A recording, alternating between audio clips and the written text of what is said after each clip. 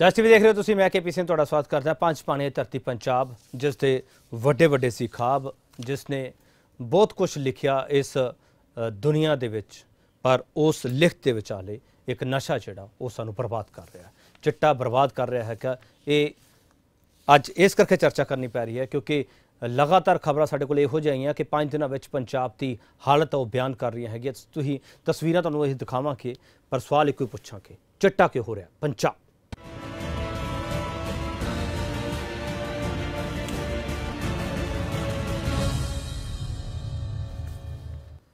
ਪੰਜ ਦਿਨਾਂ ਵਿੱਚ ਪੰਜਾਬ ਦੀਆਂ 8 ਤਸਵੀਰਾਂ ਸਾਡੀਆਂ ਅੱਖਾਂ ਖੋਲਣ ਵਾਲੀਆਂ ਹੈਗੀਆਂ, ਸਾਨੂੰ ਸੋਚਣਾ ਪਵੇਗਾ, ਅਸੀਂ ਕਰ ਕੀ ਰਹੇ ਹੈਗੇ ਹਾਂ, ਜਾ ਕਿੱਧਰ ਰਹੇ ਹੈਗੇ ਹਾਂ। ਨਸ਼ੇ ਦੀ ਹੋਮ ਡਿਲੀਵਰੀ ਦੀ ਪਹਿਲੀ ਤਸਵੀਰ ਤੁਸੀਂ ਦੇਖ ਰਹੇ ਹੋ ਵੀਡੀਓ ਵਾਇਰਲ ਹੋ ਰਿਹਾ, ਸੰਗਰੂਰ ਤੇ ਦਿੜਬਾ ਦੀ ਇਹ ਤਸਵੀਰ ਹੈਗੀ ਆ, ਜਿੱਥੇ ਸਕੂਟਰ ਤੇ ਨਸ਼ੇ ਦੀਆਂ ਗੋਲੀਆਂ ਵੇਚੀਆਂ ਜਾ ਰਹੀਆਂ ਤੇ ਲੋਕ ਇੰਤਜ਼ਾਰ ਕਰਦੇ ਆ ਇਹ ਪੱਤੇ ਖਰੀਦਣ ਦੇ ਲਈ। ਕਿਤੇ 100 ਰੁਪਏ ਦਾ ਪੱਤਾ ਦਿੱਤਾ ਜਾਂਦਾ, ਕਿਤੇ 150 ਰੁਪਏ ਦਾ ਪੱਤਾ ਦਿੱਤਾ ਜਾਂਦਾ ਹੈ। ਦੂਜੀ ਤਸਵੀਰ ਤੁਸੀਂ ਦੇਖ ਰਹੇ ਹੋ, ਬਰਨਾਲਾ ਦੀ। ਜਿੱਥੇ ਘਰ ਘਰ ਨਸ਼ਾ ਵੇਚਣ ਦੀਆਂ ਤਸਵੀਰਾਂ ਸਾਹਮਣੇ ਆਉਂਦੀਆਂ ਪਈਆਂ ਹੈਗੀਆਂ। ਤੀਜੀ ਤਸਵੀਰ ਤੁਸੀਂ ਦੇਖ ਰਹੇ ਹੋ ਮੋਗੇ ਦੀ, ਜਿੱਥੇ ਕੁੜੀਆਂ ਨੂੰ ਨਸ਼ਾ ਜਿਹੜਾ, ਉਹ ਲੱਗ ਚੁੱਕਿਆ ਹੈਗਾ। ਹਾਲਾਂਕਿ ਕਈ ਥਾਵਾਂ ਤੇ ਲੱਗ ਚੁੱਕਿਆ ਹੈਗਾ। ਅਸੀਂ ਅੱਖਾਂ ਬੰਦ ਕਰ ਲੈਂਦੇ ਹਾਂ, ਪਰ ਜਦੋਂ ਇੱਕ ਕੁੜੀ ਸਾਹਮਣੇ ਆਉਂਦੀ ਹੈ ਕਿ ਮੈਂ ਨਸ਼ਾ ਛੱਡਣਾ ਚਾਹੁੰਦੀ ਹਾਂ, ਇੱਕ ਸਮਾਜ ਸੇਵੀ ਸੰਸਥਾ ਦੇ ਸਹਾਰੇ ਪੁਲਿਸ ਕੋਲੇ ਅਪਰੋਚ ਕਰਦੀ ਹੈ, ਉਦੋਂ ਪਤਾ ਲੱਗਦਾ ਕਿ ਸਾਡੀਆਂ ਮੁਟਿਆਰਾਂ ਜਿਹੜੀਆਂ, ਉਹ ਨਸ਼ੇ 'ਚ ਗਲਤਾਨ ਕਿਉਂ ਹੁੰਦੀਆਂ ਜਾ ਰਹੀਆਂ। ਚੌਥੀ ਤਸਵੀਰ ਤੁਸੀਂ ਦੇਖ ਰਹੇ ਹੋ ਬਠਿੰਡਾ ਦੀ, ਜਿਹੜੇ ਪਿੰਡ ਮਹਿਮਾ ਸਰਜਾ ਦੀ ਆ, ਜਿੱਥੇ ਨਸ਼ੇ ਦੀ ਪੂਰਤੀ ਕਰਨੀ ਸੀ, ਮਾਂ ਤੋਂ ਪੈਸੇ ਮੰਗੇ, ਮਾਂ ਨੇ ਮਨਾ ਕਰਤਾ ਤੇ ਚਾਰ ਗੋਲੀਆਂ ਨਾਲ ਮਾਂ ਮਾਰਤੀ ਨਸ਼ੇ ਦੇ ਲਈ।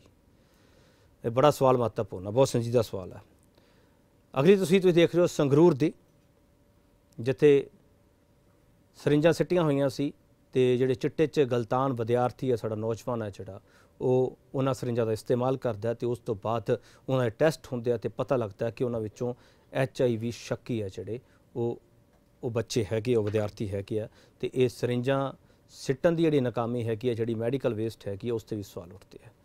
ਅਗਲੀ ਤਸਵੀਰ ਤੁਸੀਂ ਦੇਖ ਰਹੇ ਹੋ, ਛੇਵੀਂ ਤਸਵੀਰ।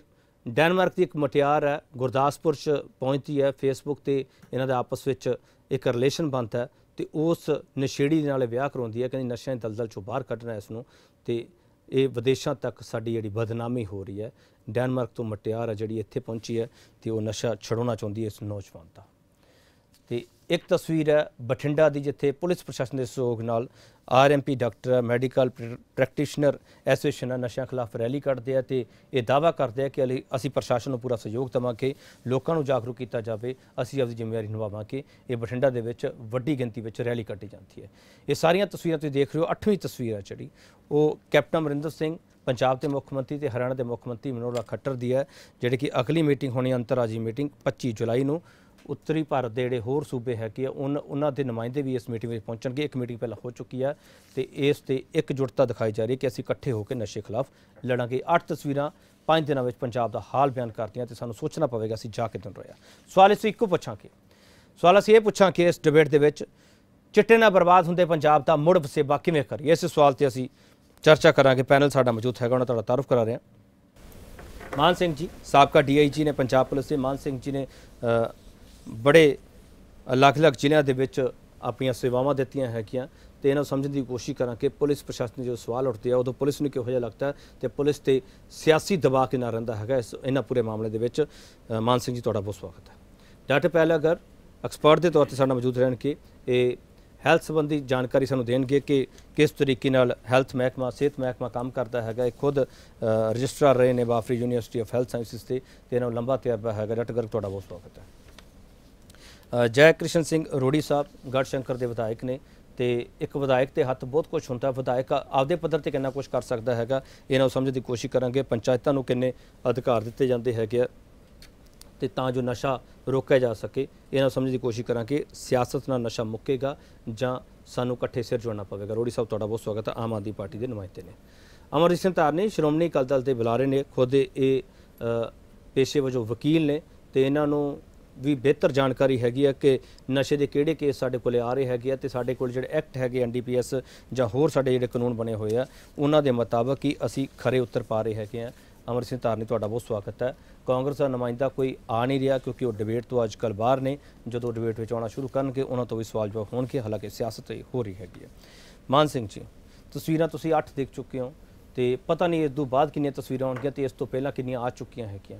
ਇਹ ਪਿਛਲੇ 5 ਦਿਨਾਂ ਵਿੱਚ ਪੰਜਾਬ ਦਾ ਹਾਲ ਅਸੀਂ ਦਿਖਾ ਰਹੇ ਮਾਨ ਸਿੰਘ ਜੀ। ਅਸੀਂ ਜਾ ਕੇ ਦਿਨ ਰਹੇ ਹਾਂ। ਦੇਖੋ ਜਿਹੜੀ ਡਰੱਗਸ ਪ੍ਰੋਬਲਮ ਇਹ ਚੱਲ ਰਹੀ ਹੈ ਨਾ ਨਸ਼ੇ ਦੀ ਪ੍ਰੋਬਲਮਸ ਹੈਗੀ ਆ ਇਹ ਹੁਣ ਡੇ ਬਾਈ ਡੇ ਵੱਧਦੀ ਜਾਂਦੀ ਹੈ। ਇਹਦੇ ਵਧਣ ਦੇ ਕਈ ਕਾਰਨ ਨੇ। ਸੋਸ਼ਲ ਕਾਰਨ ਵੀ ਹੈਗੇ ਨੇ ਅਨਐਮਪਲੋਇਮੈਂਟ ਕਾਰਨ ਵੀ ਹੈਗਾ। ਲੇਕਿਨ ਸਭ ਤੋਂ ਜਿਹੜੀ ਵੱਡੀ ਸਮੱਸਿਆ ਆ ਰਹੀ ਹੈਗੀ ਹੈ ਉਹ ਹੈਗੀ ਹੈ ਕਿ ਪੁਲਿਸ ਦੇ ਵਿੱਚ ਸਿਰਫ ਇੱਕ ਫਿਗਰ ਵਰਕ ਪੂਰਾ ਕੀਤਾ ਜਾ ਰਿਹਾ। ਐਕਚੁਅਲੀ ਜਿੱਥੇ ਸੋਰਸ ਨੇ ਜਿੱਥੋਂ ਇਹ ਆ ਰਹੀ ਡਰੱਗਸ ਜਿੱਥੋਂ ਆ ਰਿਹਾ ਉਧਰਲੇ ਪਾਸੇ ਵੱਲ ਧਿਆਨ ਘੱਟ ਹੈ। ਕਿਉਂਕਿ ਕਿਸੇ ਕੋਲੋਂ 10 ਗ੍ਰਾਮ ਫੜ ਲਈ 15 ਗ੍ਰਾਮ ਫੜ ਲਈ ਸਿੰਥੈਟਿਕ ਡਰੱਗ ਹੈ ਵੈਸੇ ਹੈਰੋਇਨ ਨਹੀਂ ਹੁੰਦੀ ਇਹ। ਕਹਿ ਦਿੰਦੇ ਨੇ ਆਲ ਸਿੰਥੈਟਿਕ ਡਰੱਗ ਹੈਗੀਆਂ ਨੇ। ਕਿਉਂਕਿ ਹੈਰੋਇਨ ਦਾ ਇੱਕ ਬੜੀ ਕਾਸਟਲੀ ਹੈਗਾ। ਔਰ ਸਾਡੇ ਇੱਕ ਸਿਸਟਮ ਹੁੰਦਾ ਸੀ ਪਹਿਲਾਂ ਜਦੋਂ ਅਸੀਂ ਕੋਈ ਕੇਸ ਦੇ ਵਿੱਚ ਕੋਈ ਡਰੱਗ ਫੜਦੇ ਹੁੰਦੇ ਸੀਗੇ ਤਾਂ ਅਸੀਂ ਆਪਣੀ ਇੱਕ ਕੇਸ ਡਾਇਰੀ ਦੇ ਵਿੱਚ ਉਹਦਾ ਸੋਰਸ ਪੁੱਛਦੇ ਹੁੰਦੇ ਸੀ ਉਸ ਬੰਦੇ ਨੂੰ ਕਿ ਤੈਨੂੰ ਮਿਲੀ ਕਿੱਥੋਂ ਇਹ ਕਿੱਥੋਂ ਆਇਆ ਹੈਗਾ। ਉਹ ਸੋਰਸ ਤੇ ਰੇਡ ਕੀਤਾ ਜਾਂਦਾ ਸੀਗਾ ਤੇ ਰੇਡ ਕਰਨ ਤੋਂ ਬਾਅਦ ਉਹਨੂੰ ਇੰਟਰੋਗੇਸ਼ਨ ਸੈਂਟਰ ਭੇਜ ਦਿੱਤਾ ਜਾਂਦਾ ਸੀ ਵੀ ਤਾਂ ਕਿ ਅਸਲ ਪਤਾ ਚੱਲ ਸਕੇ ਵੀ ਅਸਲ ਜੜ ਕਿੱਥੋਂ ਹੈਗੀ ਹੈ। But that's not being done now ਉਹ ਨਹੀਂ ਹੋ ਰਿਹਾ ਅੱਜ ਕੱਲ੍ਹ। ਖਾਣਾ ਪੂਰਤੀ ਹੋ ਰਹੀ ਹੈ। ਅੱਜ ਕੱਲ ਸਿਰਫ ਖਾਣਾ ਪੂਰਤੀ ਹੈ ਕਿ ਹਰ ਥਾਂ ਤੇ ਹਰ ਕੇਸ ਦੇ ਵਿੱਚ ਲਿਖਿਆ ਜਾਂਦਾ ਜੀ ਮੈਨੂੰ ਨਾਈਜੀਰੀਅਨ ਦੇ ਗਿਆ ਮੈਨੂੰ ਦਿੱਲੀ ਤੋਂ ਮਿਲ ਗਈ ਜੀ ਮੈਨੂੰ ਫਲਾਣੇ ਬੱਸ ਸਟੈਂਡ ਤੋਂ ਫੜਾ ਗਿਆ ਮੈਂ ਉਹਦਾ ਨਾਂ ਪਤਾ ਨਹੀਂ ਜਾਣਦਾ ਮੈਨੂੰ ਇਹ ਨਹੀਂ ਜਾਣਦਾ। ਦੂਜੀ ਇਹ ਇਹ ਇਹ ਪ੍ਰੋਬਲਮ ਜਿਹੜੀ ਆ ਰਹੀ ਹੈ। ਦੂਜੀ ਗੱਲ ਹੈਗੀ ਆ ਸਿਰਫ ਇੱਕ ਕਨਵਿਕਸ਼ਨ ਵਾਸਤੇ ਵੀ ਕਿਉਂ ਟੋਟਲੀ ਫੇਲ ਹੋ ਰਹੇ? ਕਿਉਂ ਨਹੀਂ ਕਿਸੇ ਸਮਗਲਰ ਦੀ ਉਹ ਐਨਡੀਪੀਸੀ ਐਕਟ ਦੇ ਤਹਿਤ ਜਾਇਦਾਦਾਂ ਅਟੈਚ ਹੁੰਦੀਆਂ? ਕਿਉਂਕਿ ਸਮਗਲਰ ਦਾ ਜਦ ਪਤਾ ਹੀ ਨਹੀਂ ਕੱਢਿਆ ਜਾਂਦਾ ਤੇ ਇਸ ਕਰਕੇ ਮਾਮਲਾ ਉੱਥੇ ਦਾ ਉੱਥੇ ਹੀ ਰਹਿ ਜਾਂਦਾ ਹੈਗਾ। ਤੇ ਛੋਟੇ ਛੋਟਿਆਂ ਨੂੰ ਫੜ ਫੁੜ ਕੇ ਇੱਧਰ ਉੱਧਰ ਉਹ ਜੇਲ੍ਹਾਂ ਚਲੇ ਜਾਂਦੇ ਜੇਲ੍ਹਾਂ ਤੋਂ ਵੱਡੀਆਂ ਮੱਛੀਆਂ ਨੂੰ ਹੱਥ ਨਹੀਂ ਪਾਇਆ ਜਾ ਰਿਹਾ। ਵੱਡੀਆਂ ਮੱਛੀਆਂ ਦੀ ਜਦੋਂ ਹਰਪ੍ਰੀਤ ਸਿੰਘ ਸਿੱਧੂ ਜਿਹੜੇ ਏਡੀਜੀਪੀ ਸੀ ਜਦੋਂ ਉਹਨੂੰ ਐਸਟੀਐਫ ਦਾ ਬਣਾਇਆ ਸੀਗਾ ਚਾਰਜ ਦਿੱਤਾ ਸੀਗਾ ਤਾਂ ਉਹਨਾਂ ਨੂੰ ਇਹੀ ਕੰਮ ਬੇਸਿਕਲੀ ਸੌਂਪਿਆ ਗਿਆ ਸੀ ਸਰਕਾਰ ਬਣਨ ਤੋਂ ਬਾਅਦ ਵੀ ਤੁਸੀਂ ਇਹਦੇ 'ਚ ਵੱਡੀਆਂ ਮੱਛੀਆਂ ਨੂੰ ਲੱਭੋ ਵੀ ਇਹਦੇ 'ਚ ਹੋ ਕਿਆ ਰਿਹਾ। ਪਰ ਉਹ ਜਦੋਂ ਉਧਰਲੇ ਪਾਸੇ ਨੂੰ ਵਧਣ ਲੱਗੇ ਤੇ ਉਹਨਾਂ ਨੇ ਜਦੋਂ ਇੱਕ ਰਿਪੋਰਟ ਵੀ ਹਾਈ ਕੋਰਟ 'ਚ ਪੇਸ਼ ਕੀਤੀ, ਜਿਹੜੀ ਕਿ ਅੱਜ ਕੱਲ੍ਹ ਅੱਜ ਤੱਕ ਵੀ ਇਦਾਂ ਹੀ ਪਈ ਹੈ, ਉਹਦੇ ਲਈ ਕੁਝ ਨਹੀਂ ਹੋਇਆ। ਉਹ ਵੀ ਉੱਥੇ ਹੀ ਰੁਲ ਰਲ ਗਏ ਤੇ ਉਹਨਾਂ ਨੂੰ ਵੀ ਮੁੜ ਕੇ ਉਹ ਤੋਂ ਬਦਲਤਾ, ਚਲੋ ਉਹ ਵੀ ਚਲੇ ਗਏ। ਹੁਣ ਸਵਾਲ ਇਸ ਗੱਲ ਦਾ ਹੈਗਾ ਕਿ ਕੱਲਾ ਜਿਹੜਾ ਨਸ਼ਾ ਹੈਗਾ, ਜੇ ਤੁਸੀਂ ਅੱਜ ਕੱਲ ਇਹ ਕਿਸੇ ਵੀ ਕੈਮਿਸਟ ਤੋਂ ਤੁਸੀਂ ਅੱਜ ਤਕਰੀਬਨ 80% ਕੈਮਿਸਟਾਂ ਤੋਂ ਜਿੱਥੋਂ ਮਰਜ਼ੀ ਲੈ ਲਓ। ਔਰ ਜਿੱਥੋਂ ਮਰਜ਼ੀ ਲਾ ਲਓ। ਉੱਥੇ ਇੱਕ ਡਰੱਗ ਇੰਸਪੈਕਟਰ ਹੁੰਦਾ ਉਹ ਲੱਭਦਾ ਹੀ ਨਹੀਂ ਕਦੇ ਉਹ ਪਤਾ ਨਹੀਂ ਉਹਦਾ ਦਾ ਕਿਆ ਇਨਵੋਲਵਮੈਂਟ ਹੈਗੀ ਆ ਦੈਟ ਆਈ ਕਾਂਟ ਸੇ ਕਿ ਉਹ ਕਿਆ ਕਿਆ ਕਰਦੇ ਨੇ ਕਿਆ ਨਹੀਂ।